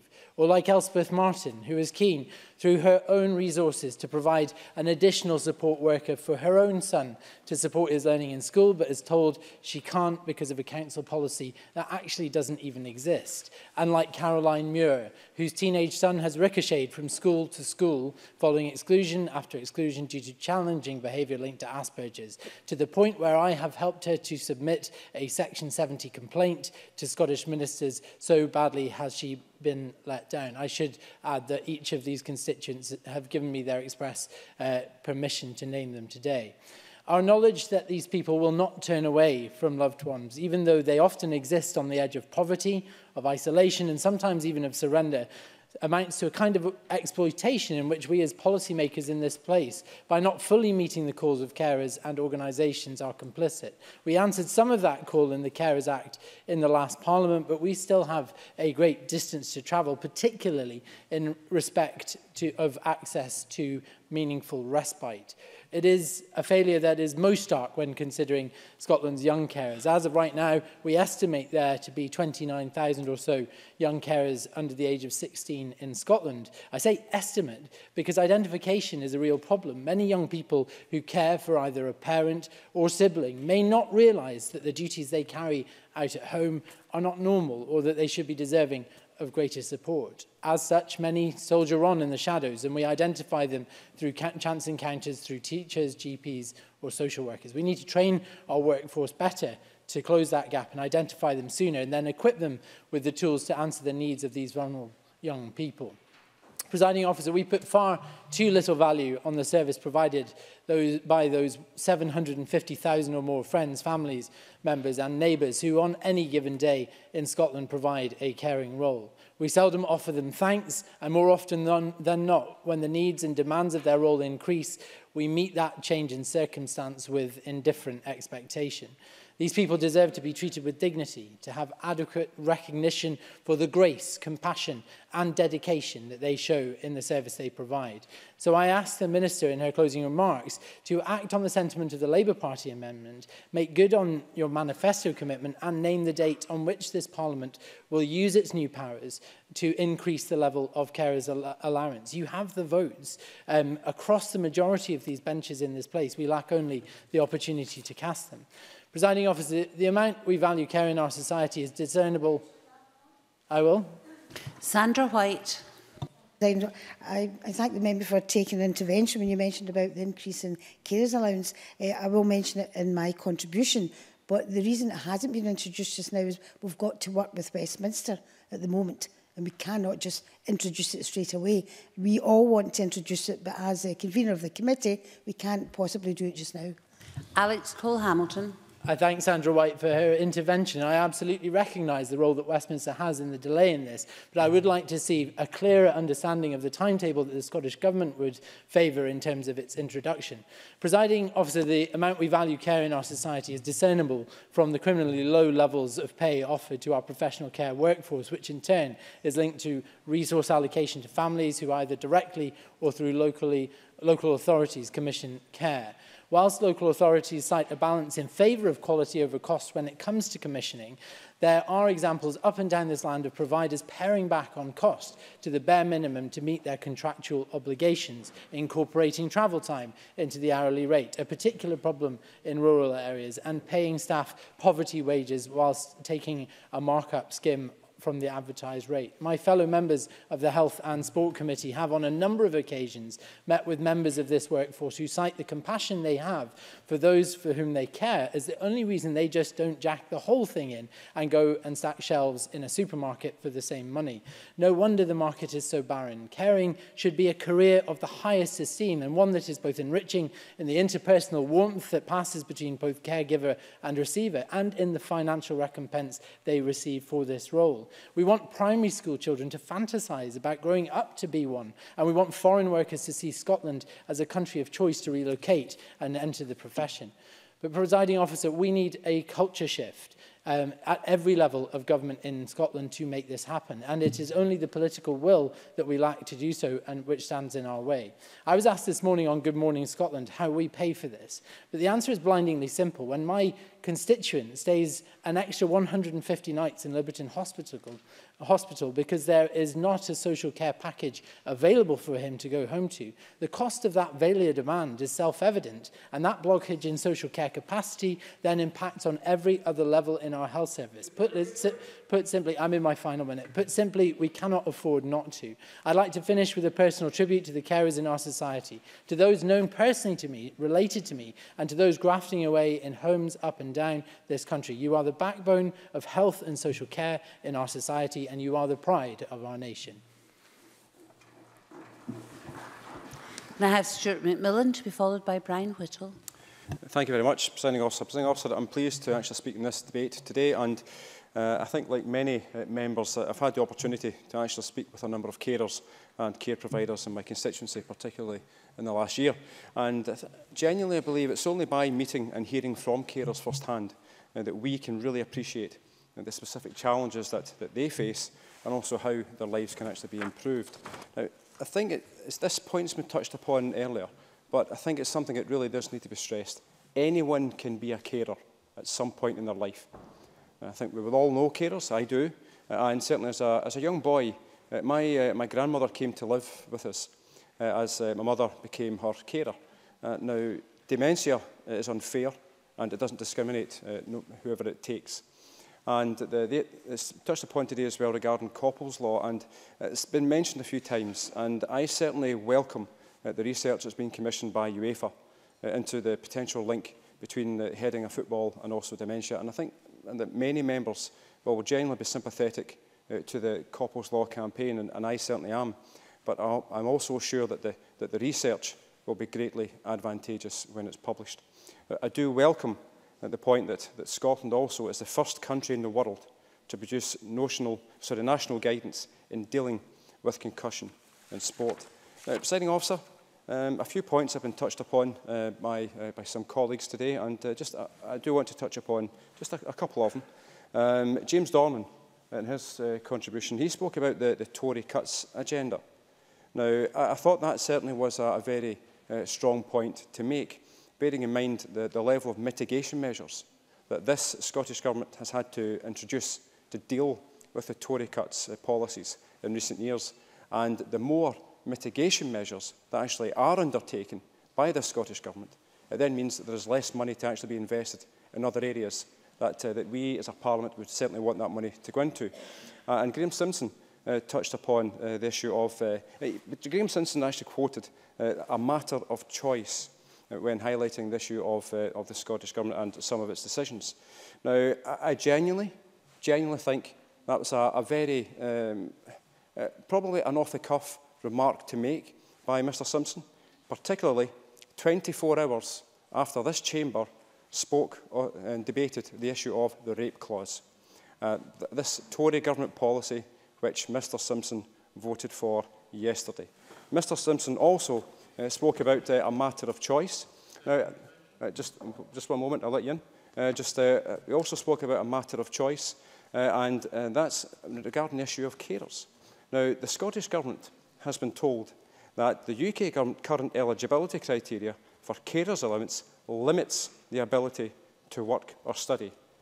Now, that is a matter of choice that the UK government has introduced and undertake the intervention. Graham Simpson. Um, very briefly, Stuart McMillan will have heard me uh, talking about the, the choice that the Scottish Government has made to cut councils' budgets year on year. That's what I was referring to. Um, surely you must admit that's a fact. Stuart McMillan. No, uh, what I said, uh, Mr Simpson, I quoted you, you, sorry, Mr Simpson in the chamber stated a matter of choice. Every government, Mr Simpson will, will agree with me on this, every government has got to make decisions. And the government that he supports in London introduced that heinous policy that this chamber discussed and debated yesterday. Now, one other point was uh, that Donald Cameron, Donald Cameron spoke of the, the Scottish Government uh, putting in a plan, quote, and also uh, to, to, uh, to set things on a right footing. What Mr Cameron didn't actually do to the Chamber was actually offer any options or any costs as to how uh, this plan or, or, in, or putting things on right footing would actually take place. At least Alex Cole Hamilton, in his closing comments, actually indicated an area uh, in terms of uh, savings in terms of the, the, the health service. At least I mean, that was something that Mr Hamilton offered.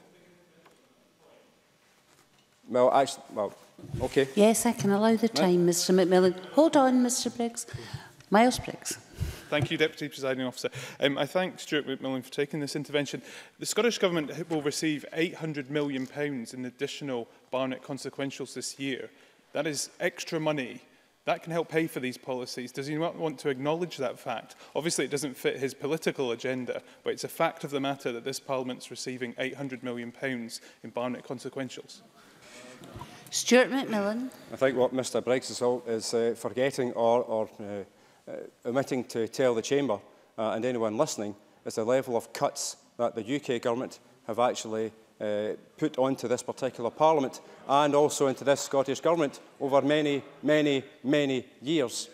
Now, one thing, presiding officer, uh, I'm conscious I'm obviously in the fifth minute now, I'm conscious that, that carers uh, are often the unsung heroes in our country, and that's something that's been has been touched upon. Thousands of people dedicate their lives to caring for others and, and also to save the government, uh, in particular in NHS services and the social care system billions of pounds every single year through their selfless care and attention. And uh, we've, we've heard about the, the, the level of uh, people who actually are registered carers, under, uh, just under 800,000. One of the points that comes up, uh, that was raised with me time and time again uh, when I do talk to carers, is the level of, uh, the estimated level of people who are not registered. So this level, uh, the, the number of carers, the under 800,000, probably will be well in excess of that. And I think that's something that across the chamber, but something that we probably do uh, have to recognise. And that will probably be the exact same situation for the, the we've got 29,000 registered young carers. That figure will probably be increased one also.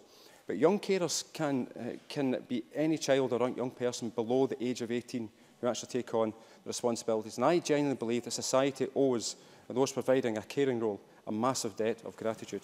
Now, I, I did take a couple of interventions, so, and, and I am conscious of time, uh, presiding officer. I, I do think certainly one of the, the, the aspects of the, of the, the, the Carers Act that this Parliament passed um, last year, uh, certainly in terms of the provisions of the Act, that they certainly will ensure uh, the better and more consistent support for carers and young carers so that they can continue to care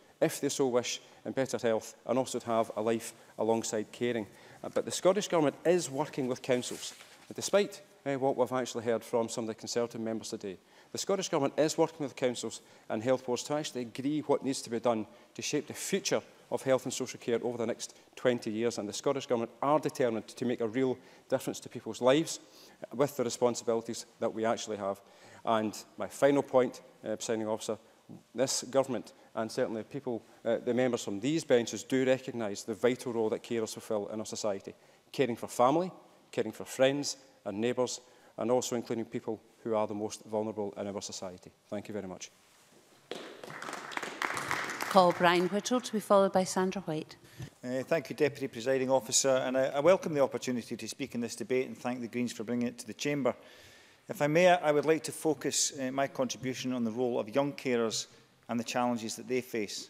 Currently in Scotland, there are tens of thousands of young carers, and some estimates suggest they um, up in the maybe upwards of 100,000. Most of these young carers are still in school and taking on the role of carer not by choice but by circumstance. To anyone looking on, you couldn't tell them apart from any other teenager, but then again, they are still normal teenagers. They're full of hopes and aspirations for the future. They're ambitious to, con to continue their education and build careers in the world of work, and they want to spend their weekends and evenings in the company of their friends. Along with colleagues from across this chamber, I attended the Scottish Young Carers Festival last year, and I think it's fair to say we were blown away with the energy and enthusiasm that greeted us. And I have to be honest and say that until I had the opportunity to attend the event and speak to young carers, listen to what they had to say and mix with them, it was an area I didn't know enough about. Like many in this chamber, I knew what a carer was, but I didn't know who they were. During the event, we watched as young carers acted out real situations that happen to them daily. We heard how every day they can be late for school or not get the chance to complete homework or arrive at a class tired or a myriad of other issues that can arise through no fault of their own because they have caring duties for a family member at home. One of the biggest issues for them, though, isn't the effects of these responsibilities, it's the lack of knowledge and understanding they sometimes receive from others. When teachers and classmates don't understand a young carer's situation and make allowances for their added responsibility, it can make life that much harder for young carers when lateness is perceived as rudeness or a failure to do homework is written off as laziness. This only increases the feelings of isolation and loneliness that are all too often a feature of the life of a young carer. Of course, the flip side of that coin is just a little bit more understanding of the role of the young carers, and it can make a big difference to their experience. Many young carers are fortunate and already have teachers, friends, and even employers who understand the carer's situation and adapt to it but there's little way of consistency across the country. Teachers do have a vital role to play in the lives of all their pupils, but for young carers, they can also be a vital source of support and advice for people who have had to grow up a little bit too fast. Understanding costs, understanding costs nothing, Deputy Presiding Officer, but it can make a huge difference to young carers. Deputy Presiding Officer, like all of us in this chamber, I regularly receive emails from charities and other organisations with briefings about issues such as uh, social care. Indeed, before this debate, I received a number of them. And while these briefings can be very useful and informative, I don't believe there is a better way to understand an issue than, like this than to sit down and listen to the personal experiences of those who have lived the issue day on day. At the Young Carers Festival, a roundtable discussion gave young carers the chance to speak to MSPs and tell us more about how we could help them. And boy, did they. Frankly, when it comes to holding politicians to account and asking difficult questions, they can teach, can teach some of us in this chamber a thing or two. But that only helped to reinforce both the importance of the issue and the incredible resilience of the young carers. To hear the real, to hear the real practicalities of what they face on a day-to-day -day basis is exactly what we need. Hearing someone tell you they have to take the bus to the chemist to pick up a prescription and pay for the round trip out of their own pocket can't help but have an impact on the way that we think. We can sit and read reports all day, but few of them will be as compelling as listening to, uh, uh to uh, as, as a younger person, younger than my own daughter, in fact, talk about the sacrifices they've made to care for someone else. Now, it was only right to acknowledge that the government have made significant changes to social care during their time in office, and I recognise their willingness across this chamber to continue to improve the lives of carers. I also think it's fair to say that one of the biggest issues facing carers is lack of income. The Scottish Conservatives have called for the carers allowance to, be, to rise in line with the job seekers allowance, a move which would benefit over 60,000 people. But perhaps there are other ways that the carers, uh, other than the carers allowance that we can support and value young carers. I would like to look at the possibility, for example, of free public transport for young carers, both to reduce the costs associated with their role as a carer, but also to make life a bit easier for them to uh, beyond caring. In education, can we provide more opportunities for flexible or distance learning, giving not just young carers but all carers the chance to learn and improve their career chances? Yeah. Deputy Presiding Officer, you can't walk down the street and pick out the people most likely to be a carer. They're all different.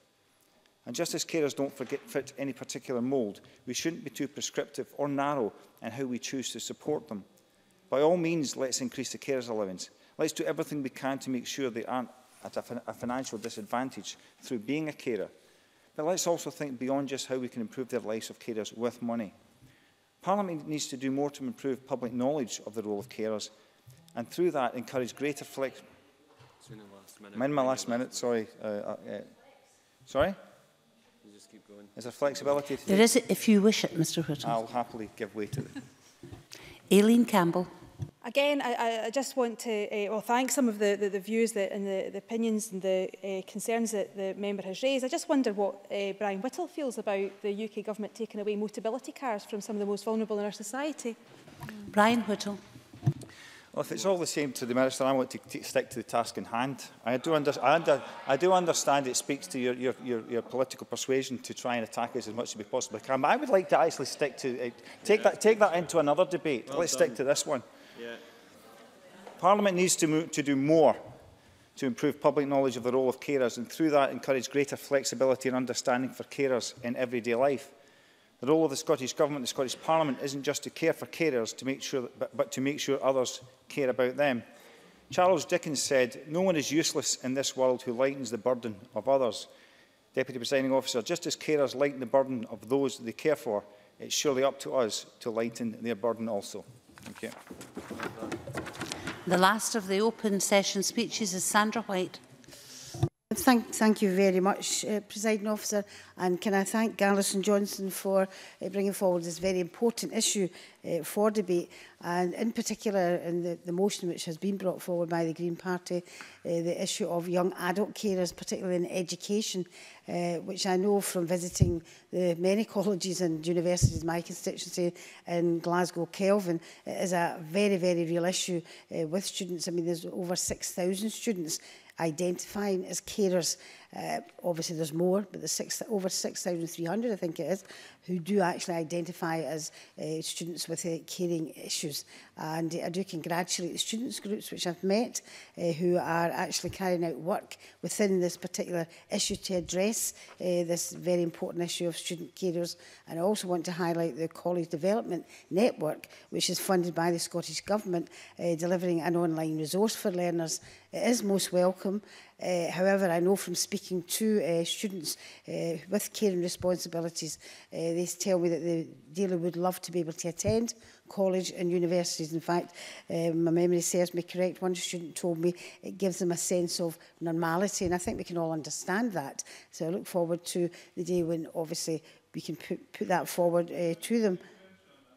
Yes, you. Miles Briggs. Thank you, thank you, Deputy Presiding Officer.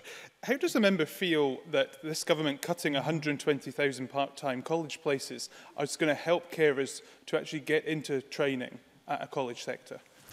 Sandra I, oh, White. Uh, thank you very much. The, the caring Tories again. Can I perhaps ask the, uh, the, the Tory party opposite under the so-called caring Tories,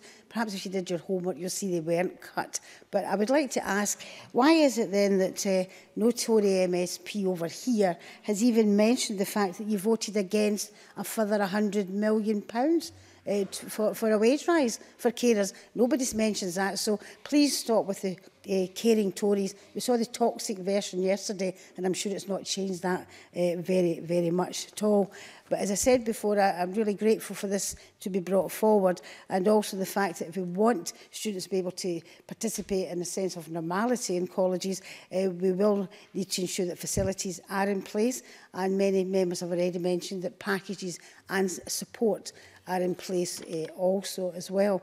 And this brings me to obviously the Young Carers Allowance uh, to provide extra support for young people with caring responsibilities and the increase of carers allowance to the level of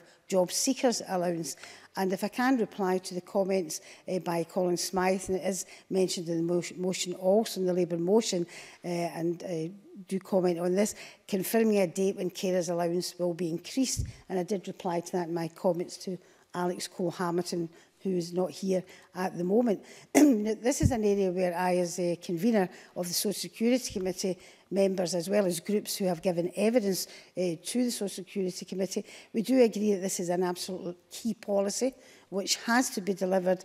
However, we need to know that we need to work with the Westminster Parliament on this, which is what the comment that I gave to Alec Cole-Hamilton. and if I can just uh, say there's been lots of talk about that, but the Social Security Committee and uh, the Scottish Affairs Committee in Westminster have met, it's a historic, uh, twice we've, we've met together, to try and iron out some of the things that has been happening uh, within the benefit system and the transfer of powers, albeit 15% of powers, but the transfer of powers. And there have been some sticky moments, and there has been letters back and forth. In fact, if I can just give you a quote out of one of the joint letters which was sent by Pete Wishart and uh, myself as both conveners of the relevant committees, we mentioned the fact that uh, we wanted a, review of the agreement between the Scottish Government and the DWP to ensure that claimants do not lose out through the transfer of, of powers and that they benefit when new powers are actually, you know, exercised and sent through. And I think we'd all agree that we need to deliver this absolutely, yes, as soon as possible, but we also need to make sure it is delivered properly. And this is one of the things, it's a, it's a key point actually. We can't build people's aspirations and hopes up when we can't deliver it tomorrow or next week. We've got to make sure that this is a smooth transition where basically people don't fall through through the you know the cracks and people aren't actually affected with the fact that they're not getting it today and I know that Mr Smythe didn't mean this anyway whatsoever at all in his comments or in the Labour motion, but we nearly need to look at this policy, taking it forward, and we need to get it right. And I'll take an intervention, here. Colin Smith.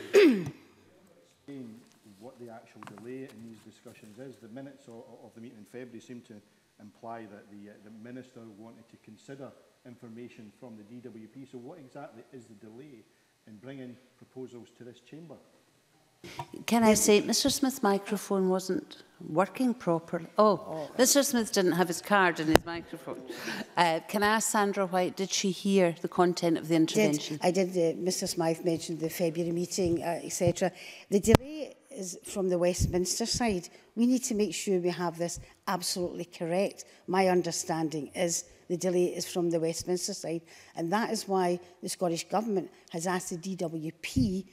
to take forward a feasibility study to look at the best way we can actually deliver this. So I, I know that you were not, you, you know, Mr Smythe and the Labour Party didn't mean to cause any unnecessary distress, to claimants. But we really need to get this right and we shouldn't be saying to people that well, we're dragging our feet. We want to make sure this is right.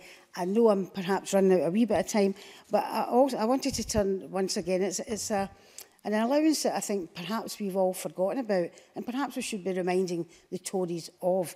Apart from the fact they voted against, you know, raising the wage of carers, let's not forget about the attendance allowance.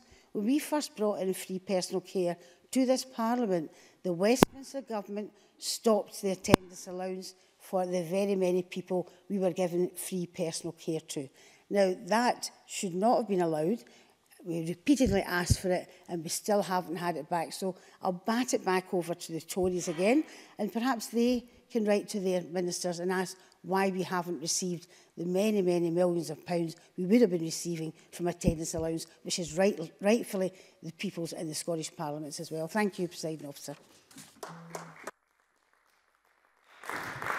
Uh, we now move to the closing speeches. I'm disappointed to see that there's a couple of people who contributed to this debate who have not come back in in time for the closing speeches. Um, can I also say at this point um, that it's perfectly acceptable for people to request to leave the chamber out with the presiding officer's protocol and I'm okay with that. However, can I ask that when you do send a note up, you give the reason why rather than just broad generalisations? Thank you. Um, we move to the closing speeches and I call Monica Lennon. Up to six minutes, please, Ms Lennon. Thank you, Presiding Officer. I'd firstly like to thank Alison Johnston for bringing forward this motion to Parliament today. I think it's been a really good debate and we've had lots of members taking part and I think that is always to be welcomed. And I'd like to uh, confirm Scottish Labour's support today for the motion. Um,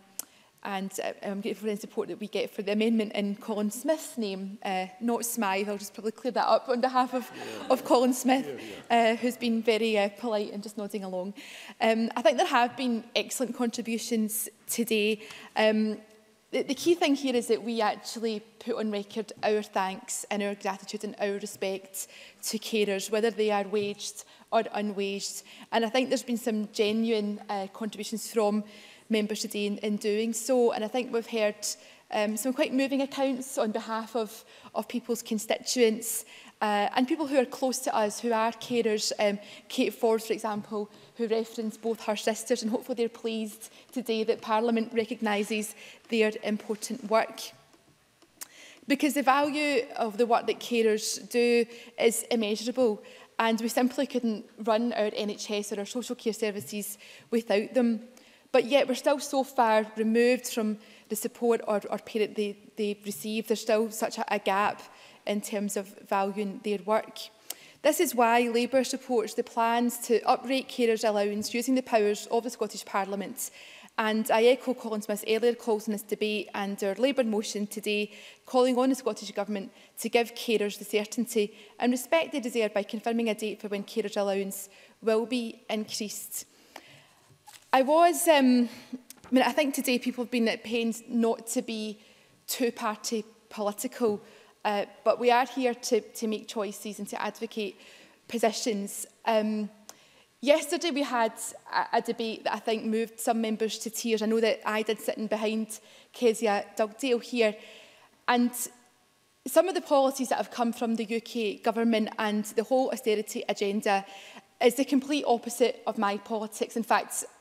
this is why I came into politics, to try and put an end to Tory governments.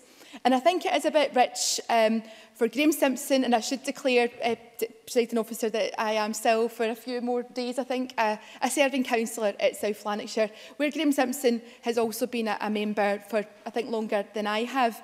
But we can't just uh, talk about Tory austerity and have a go at the Scottish Government but, you know, without being honest about that. And equally well, I would say to James Dornan and others, we can't be in denial about the cuts that have been passed down to, to local uh, government. And in fact, the S2, STUC have passed a, a a yeah, well, they've passed a motion today asking us to really be honest about that. So when we have these discussions, we can't pretend. And I have to say to, um, to the Minister, to, to Aileen Campbell, Uh, you know, we don't accept on these benches that local government is getting a fair deal. Um, and others have said, oh, there aren't any cuts. I think we have to be completely honest. We don't all agree about where we're getting to, but we have to be honest that there are cuts coming down from the UK government and from the Scottish Government. James Dornan. I thank the member for taking an intervention.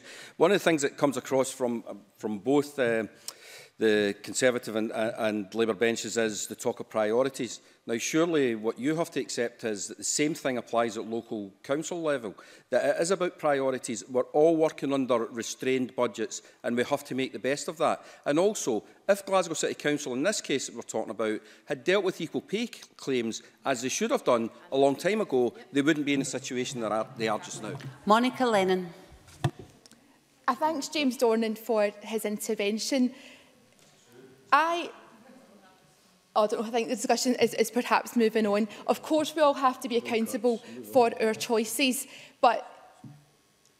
again, it goes back to the point that local services have been cut. So when we look at the, we look at the, the, the carers, there are not enough of them and people are under so much pressure. Now, one of the things that I would say, and I don't know if, I think we've got time, so I'll be generous. There's not an awful lot of time left. Graeme Simpson. I'll be very quick. So are you, uh, is Monica Lennon uh, actually agreeing with me that uh, local councils throughout Scotland have been hit by the SNP government?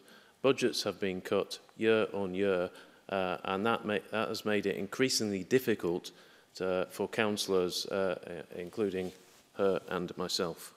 Monica Lennon. Presiding officer, I think I'm on record and I'm very clear about this, that I think local government and local services are having a really rough time. I don't think I've ever agreed with Graham Simpson on anything in my life, but I think it's undeniable that local services have been cut. Now, we can all have a debate about who we think is responsible, but we need to take some ownership for that. Now, when I speak to when I speak to local uh, constituents and carers, well, one of the, and there's a debate going on behind me here, but one of the things that, that I tried to do as a local councillor was actually go to where people are and listen to their experiences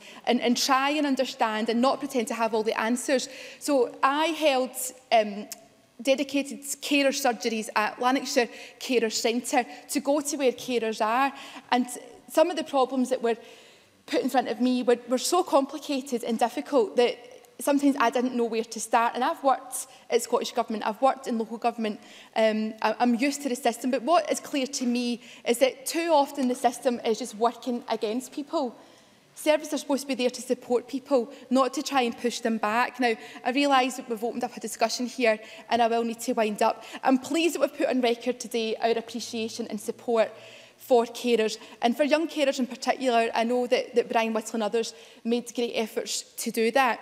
Um, there is a postcode lottery when it comes to services. Whoever gets elected to run our councils or uh, to be in government in this place or in the UK Parliament really has to stand up for carers. I think we've all recognised with the demographic, demographic challenges we have, we've got a very long way to go and no one in here can sit back and, and say that they're doing enough.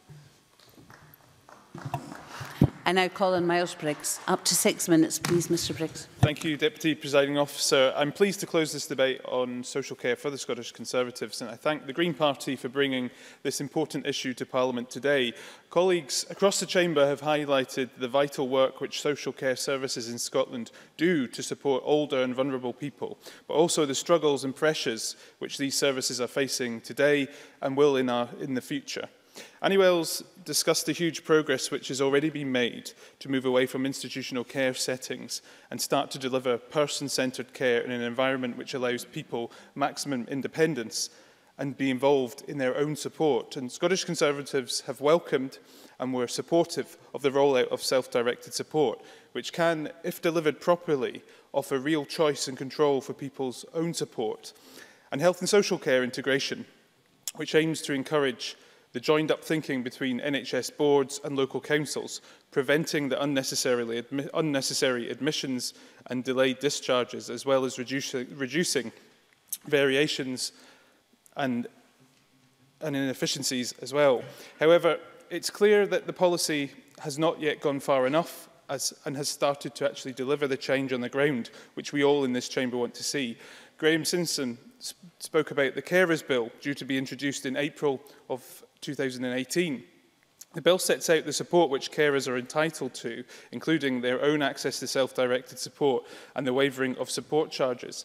The Scottish Conservatives believe that carers require financial as well as emotional and practical support, particularly for the over 170,000 people who provide care for over 35 hours a week.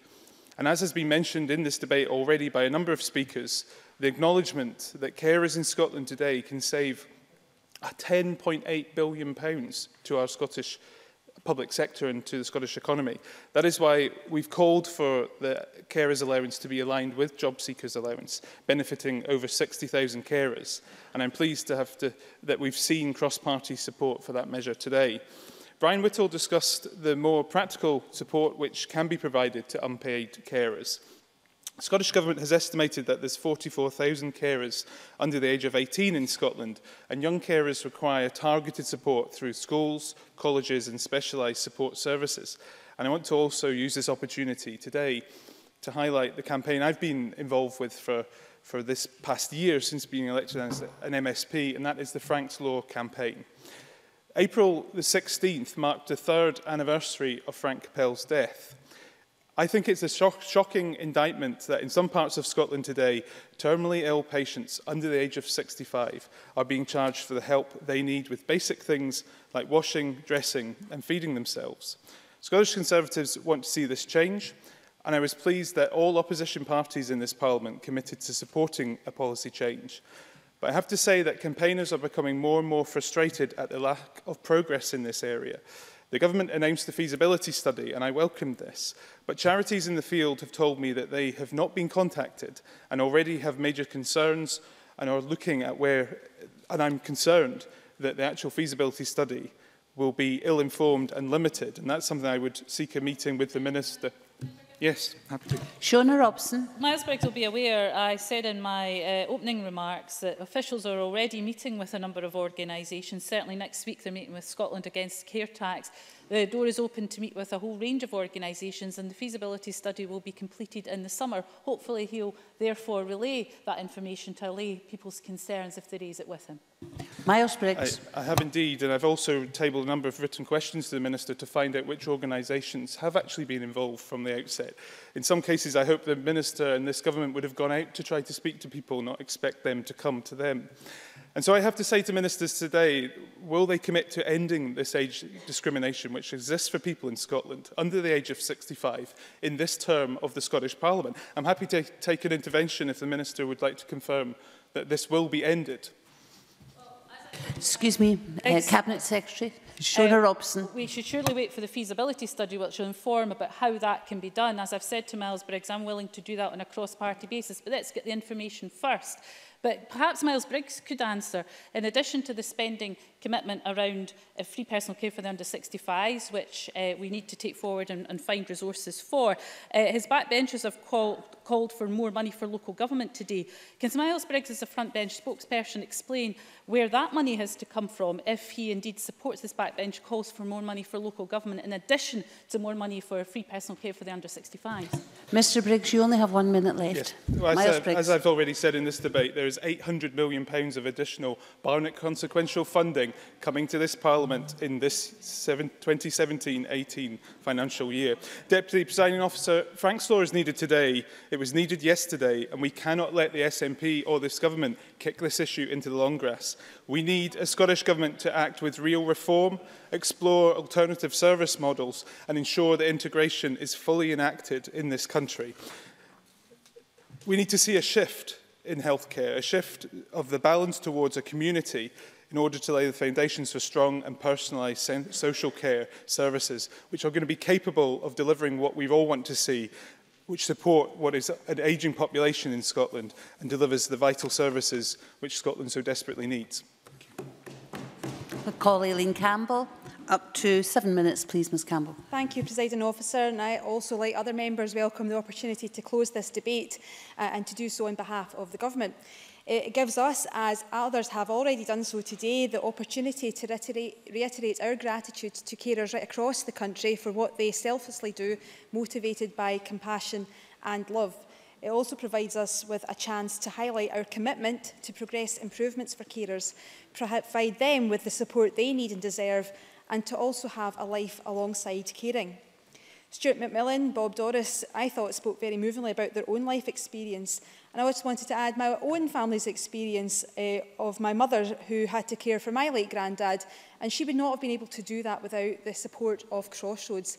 And again, even though that might have been over 20 years ago, I think the uh, story eh, remains, the sentiment remains the same, that, that we re families require support uh, alongside their caring role to ensure that they can uh, have that life alongside their caring responsibilities. But there has been significant progress made in terms of policy and legislation regarding caring and carers in Scotland over the lifetime of this Parliament. It's been significant and has been transformative, which has seen free personal care for the elderly, the integration of social care and health. It's seen us develop self-directed support and it's seen the increasing uh, use of personalisation of care to empower carers and those that are cared for uh, to help get bespoke and tailored uh, help. And I hope that does uh, maybe go some way to lay some of the final comments of Miles Briggs, because I do think we're on that journey around making sure that people can feel empowered and be much more in control and in charge of the support and the help that they uh, deserve. But of course, there is much more that we need to do and the challenges that we must face and overcome, not least the ageing population and our ability as a nation to respond to that challenge, ensuring fairness, ensuring dignity, ensuring respect and appropriate and a timely support.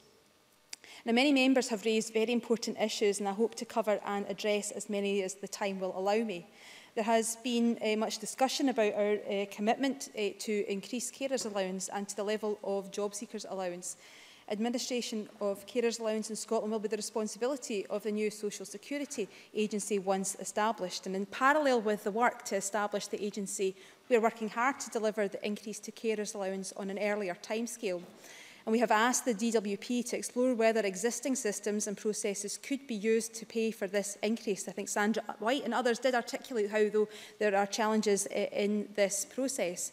And we're currently working with the DWP on feasibility studies, and these should be concluded by the end of April. We're also actively considering whether we in the Scottish Government could make the payment in advance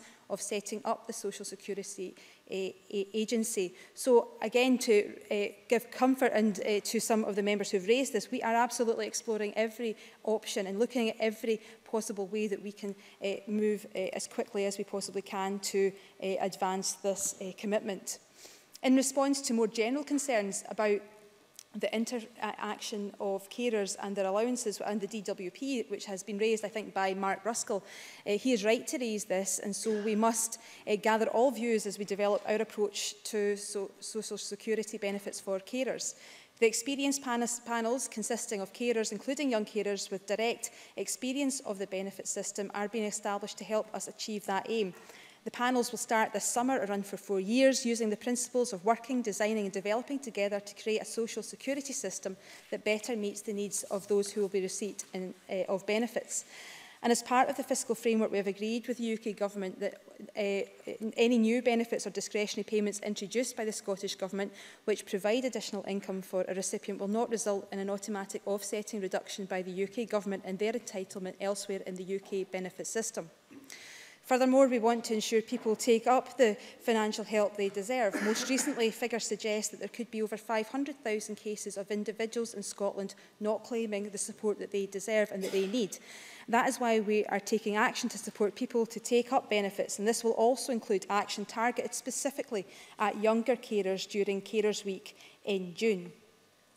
Colin Smith and Alison Johnson and other members also raised issues and concerns around sleepovers and the living wage and the Government has consulted with stakeholders on this commitment uh, as successful delivery and making sure it is done right will require partnership and collaboration.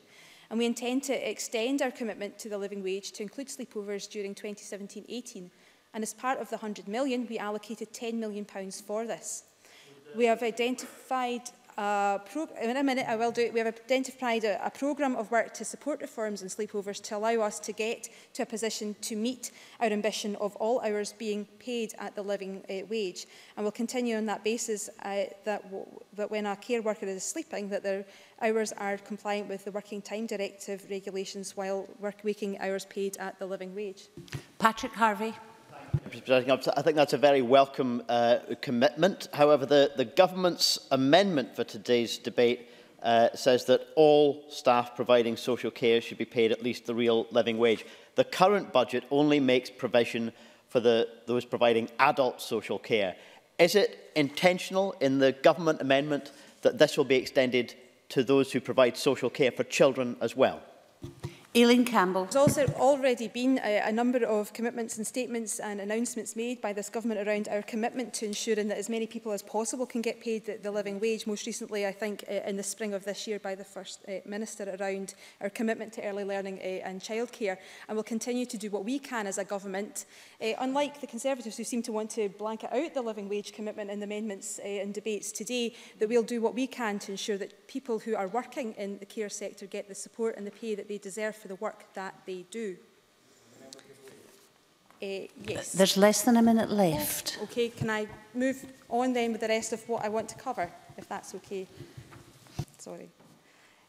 Um, because I just want to touch very briefly on uh, the issue of young carers uh, uh, because it's the responsibility of communities ev everywhere to be aware of the needs of their young carers. And it's important that delivery partners are equipped to better understand how to recognise who is a young carer and that information is widely available for young people to self-identify as being a young carer. And that requires a great deal of leadership. For instance, when I visited the new Portobello High School in January to mark Young Carers Awareness Day, I met with young carers and staff from the Edinburgh Young Carers Project, which runs the school awareness raising campaign. And through that, more than 350 previously hidden young carers have been identified right across the city and I would encourage all local authorities across the country to develop that type of working and building relationships with uh, our, uh, our young uh, carers. There are many other areas that I would have liked to have covered, uh, particularly carers positive. I think an issue that was raised by Alison Johnson to ensure that employers can be as flexible uh, as they can possibly be and understand the value and assets that they have in their workforce if they have a caring responsibility. Uh, and while there is much more we need to do in Scotland. It should also be noted that you other parts of the UK are looking to and seeking to learn from Scotland. So we have had another opportunity to uh, recognise the contribution that care workers and unpaid carers make to this country. Uh, but we need to do more and we need to make sure that as we create the fairer country that we all seek, that carers are very much part of the dialogue and debate around making our country a fairer place. Yeah. I call on Patrick Harvey to close this debate. Around eight minutes, please, Mr Harvey. Thank you very much, Deputy Presiding Officer. And can I thank the members who have chosen to take part in today's debate.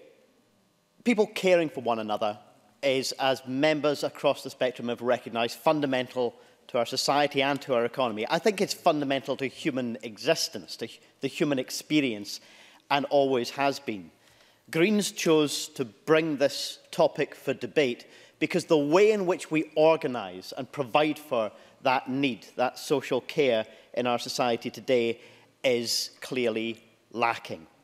As our motion says, there remains a vast gap between the value of care and the support or pay that carers receive. And we believe that nobody should face poverty because of the care that they give.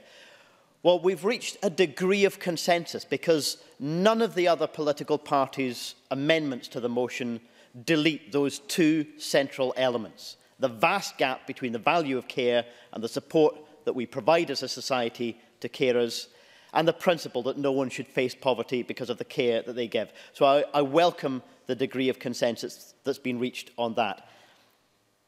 We all, I think, also agree that raising the carer's allowance has to be part of the action that's needed.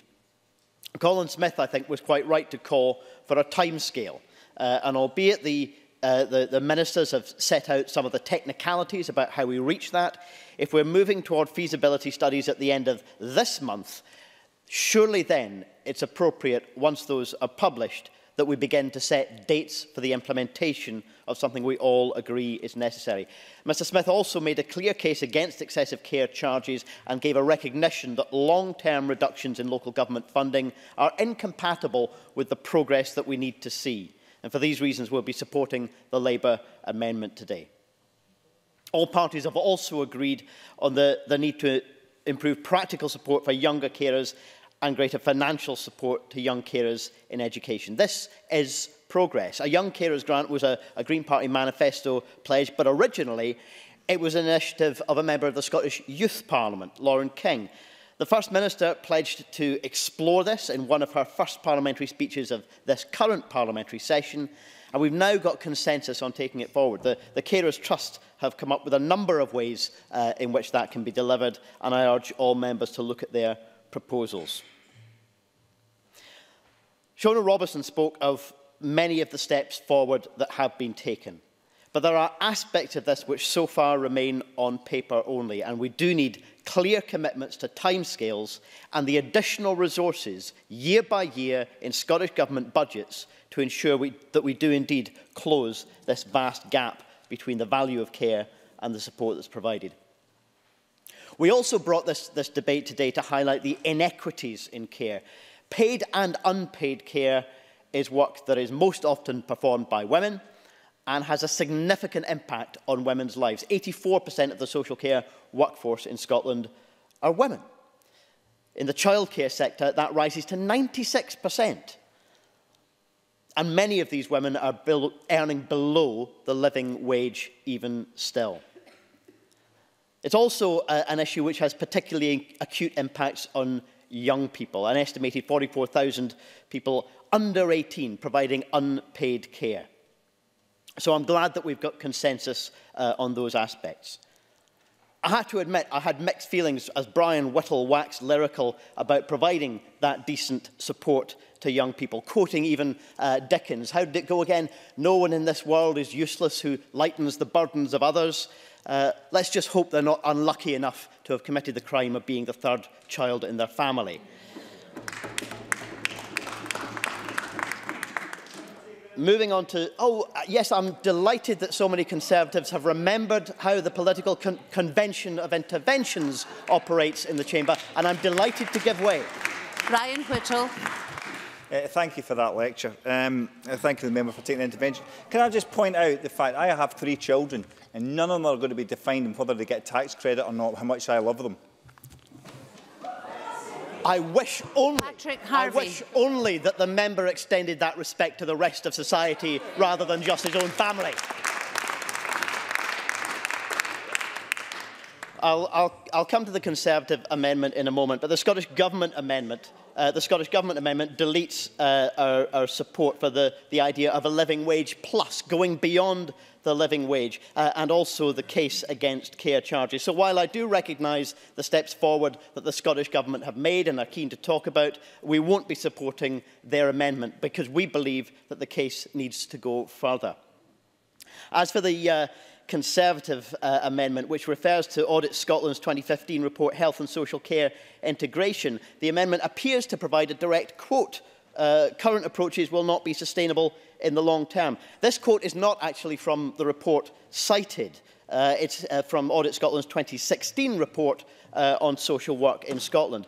That report, uh, to which the Conservatives should have attributed their quote, refers to staff's low pay as the key cause of the social care sector's recruitment and retention issues. And yet the Scottish Conservatives still won't support the basic provision even of the living wage as a requirement. Andy Wells tells us that providers are struggling. Well, it's people working on poverty wages who are struggling in our society. James Dornan made efforts to elicit some defence some defence. And I, I regret that he, he made no more progress than the rest of us have in getting some defence from the Conservatives for those poverty wages. Uh, one of the Conservative members also spoke about the importance of respite care. I suspect if they are returned with a bigger majority at Westminster, it's many people who will be needing respite from the Tory government uh, rather than anything else. Uh, Bob Doris. Bob Doris was not the only mention, uh, member who talked about the context of Brexit and the, the challenges that that is going to provide uh, to all of us in terms of the retention and recruitment of the high quality, talented and dedicated staff that our social care services need. It only makes it more urgent, more urgent uh, that we redress this chronic and long-term undervaluing of care services to give proper recognition and resources and support to the women and men who do this work in our society. We need to rethink uh, uh, our, our society and economy and the way in which we value work. It means a, a commitment to funding high quality paid social care that is ultimately free at the point of use for all, regardless of age or medical condition. It means paying all social care staff at least a living wage plus providing the resources that they need to ensure uh, that they are able to do the job to the best of their abilities as they all want to do. And it also means lifting the carers allowance by 50%, raising it to over £93 a week uh, as the Greens propose, and introducing a premium for those who care for more than one person, and doing all of this without interfering with the payment of other benefits or increasing any of the care charges that people currently pay. This would be dramatic investment in our society's social infrastructure. This investment is urgent and this investment is worth it. It would generate new employment. It would close the gap, uh, particularly in terms of the gender pay gap, but also the gap of inequality in our society. Kate Forbes, I want to mention, also talked about hidden carers. uh, I'm sure she was referring to those who are not included in our records and statistics, and that is an important thing to recognise. But all care work, all care work is generally too hidden in our society. We're not given the, uh, the clear uh, opportunity to see and to value the, the, the work that is being done right throughout society. What is too often regarded as uh, the, the, the highest profile forms of productive work, running a business, producing our food, uh, even being a politician or a legislator. All of these forms of work rely on, are dependent on, unpaid, caring labour behind the scenes, often unseen. All of us are able to be here today because we, our families, our communities have been and are supported by people doing unpaid, caring labour. And outside of employment, many of us also provide support and care for others. Our loved ones will receive support from people working in social care, and quite rightly, we want them to have the best care provided by a high-quality workforce that is appropriately rewarded and supported for the work that they do. Caring for one another, presiding officer, is fundamental to our society. It's fundamental to human nature. Without it, we simply would not function. I'm pleased that all political parties today are recognising the need for proper valuing of the paid and unpaid care in our society. But we are a long way away from achieving it yet. It's past time that we turn that recognition into action so that the next time we debate these issues in the Scottish Parliament, we'll be able to look back at meaningful progress. Thank you. That concludes our debate on carers and social care. The next item of business is consideration of Business Motion 5332 in the name of Joe Fitzpatrick on behalf of the Parliamentary Bureau setting out a business programme. I would ask any member who wishes to speak against the motion to press their request to speak button now.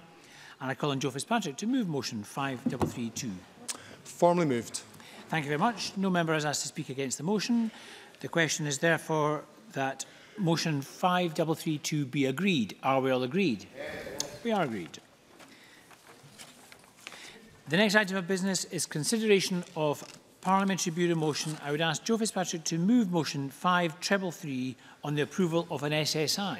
Formally moved. And I would ask any member who wishes to speak against the motion to press their request to speak button now.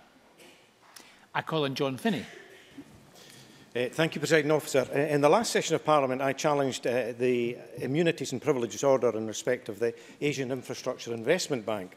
This draft order amends certain legal immunities and privileges in connection with the European Organisation of Astronomical Research in the Southern Hemisphere, ESO for short. It's an international project, it's Edinburgh-based, excuse me, has 20 full-time equivalent posts in the project and was work is split between 40 to 50 individual staff members.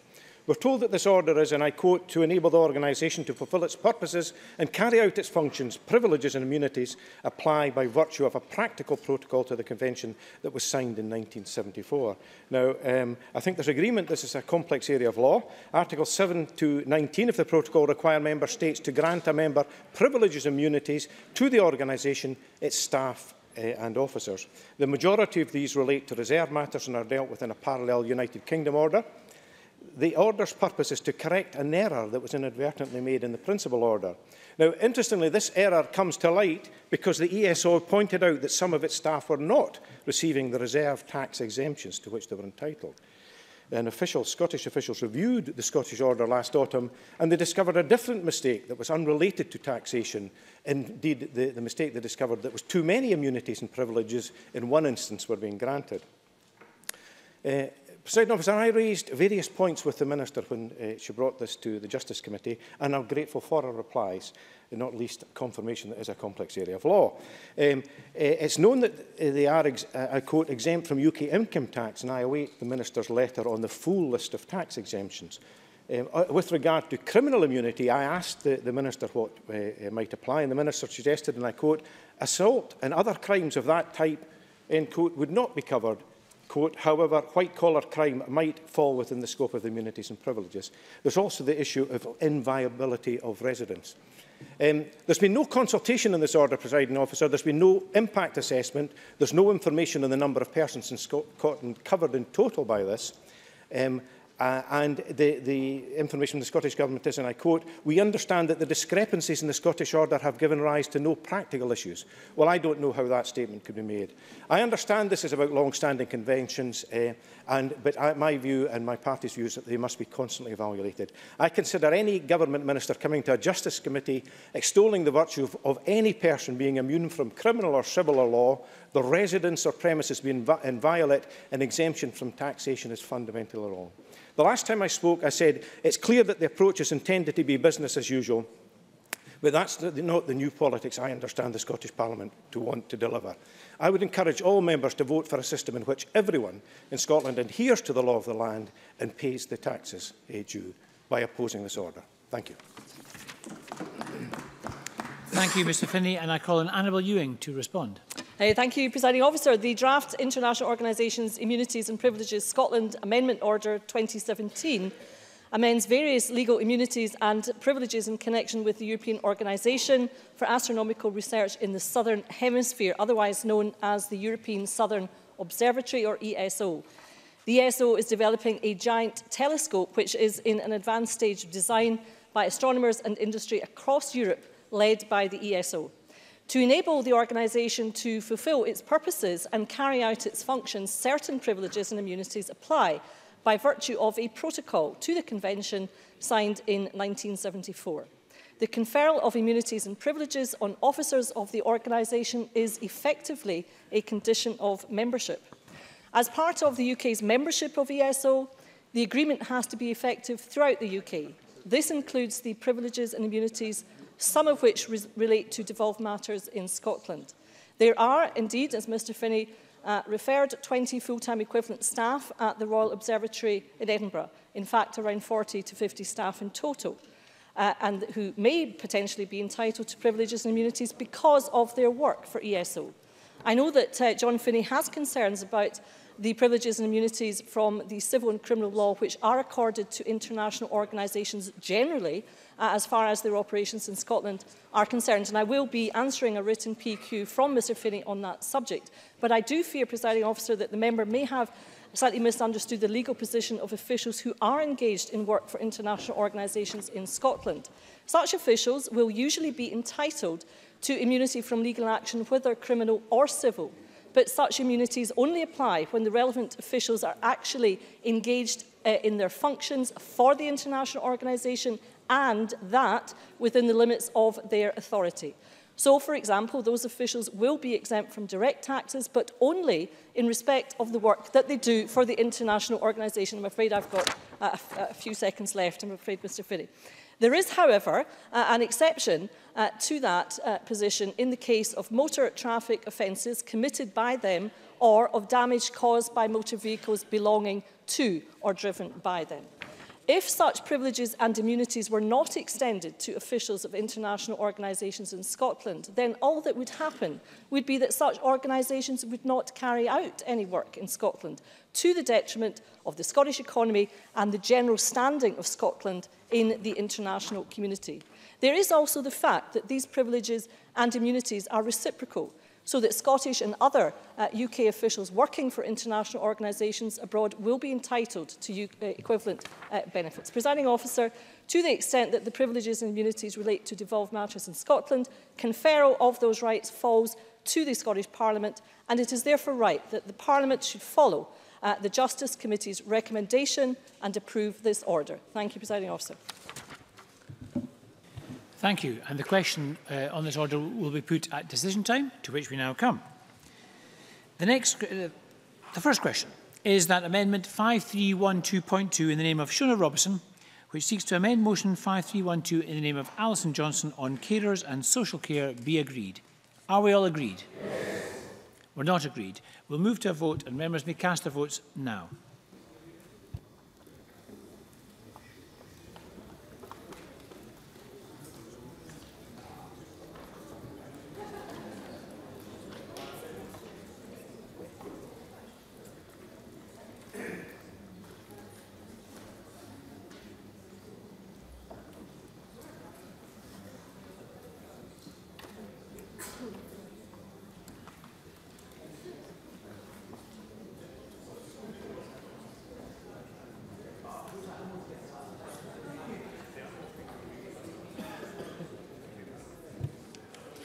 The result of the vote on the amendment in the name of Shona Robertson is yes 66, no 44. There were no abstentions.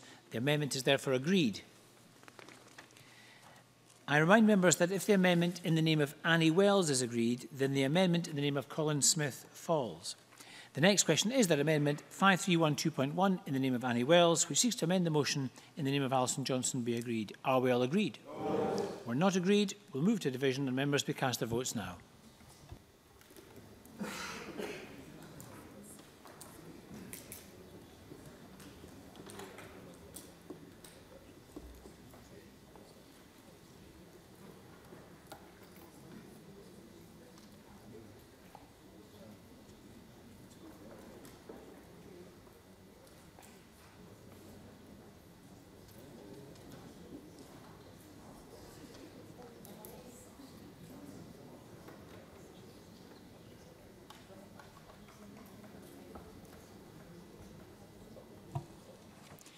The result of the vote on the amendment in the name of Annie Wells is yes 28, no 82. There were no abstentions and the amendment is therefore not agreed. The next question is that Amendment 5312.3 in the name of Colin Smith, which seeks to amend the motion in the name of Alison Johnson, be agreed. Are we all agreed? No. We're not agreed. We'll move to a division and members may cast their votes now.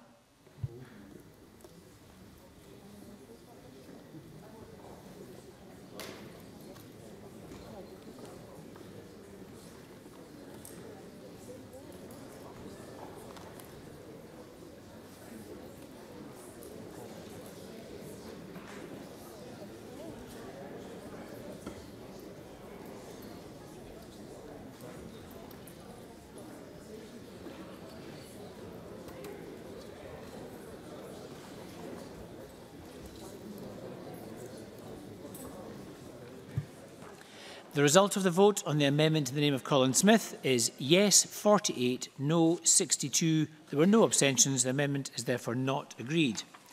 The next question is that, um, is that motion 5312 in the name of Alison Johnson as amended be agreed. Are we all agreed? Yes.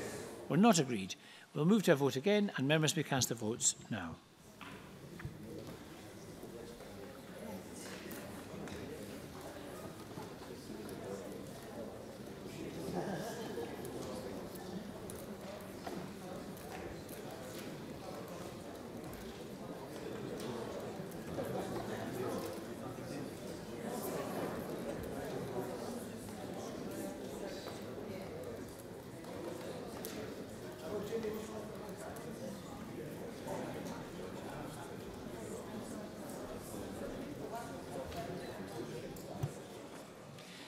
The result of the vote on motion 5312 in the name of Alison Johnson as amended is yes 82, no 28. There were no abstentions.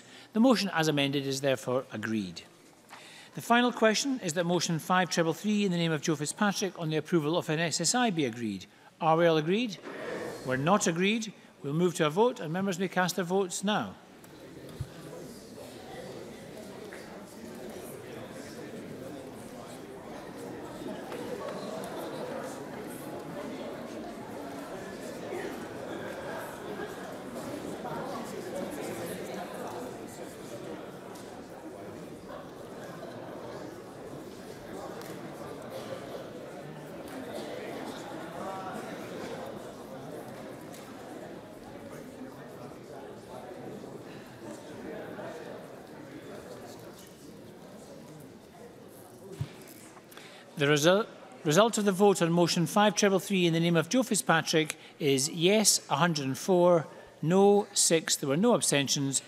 The motion is therefore agreed. And that concludes decision time. We'll now move to members' business in the name of George Adam. And I would just ask members to leave the chamber as quietly as possible. I will take a few moments to get seats.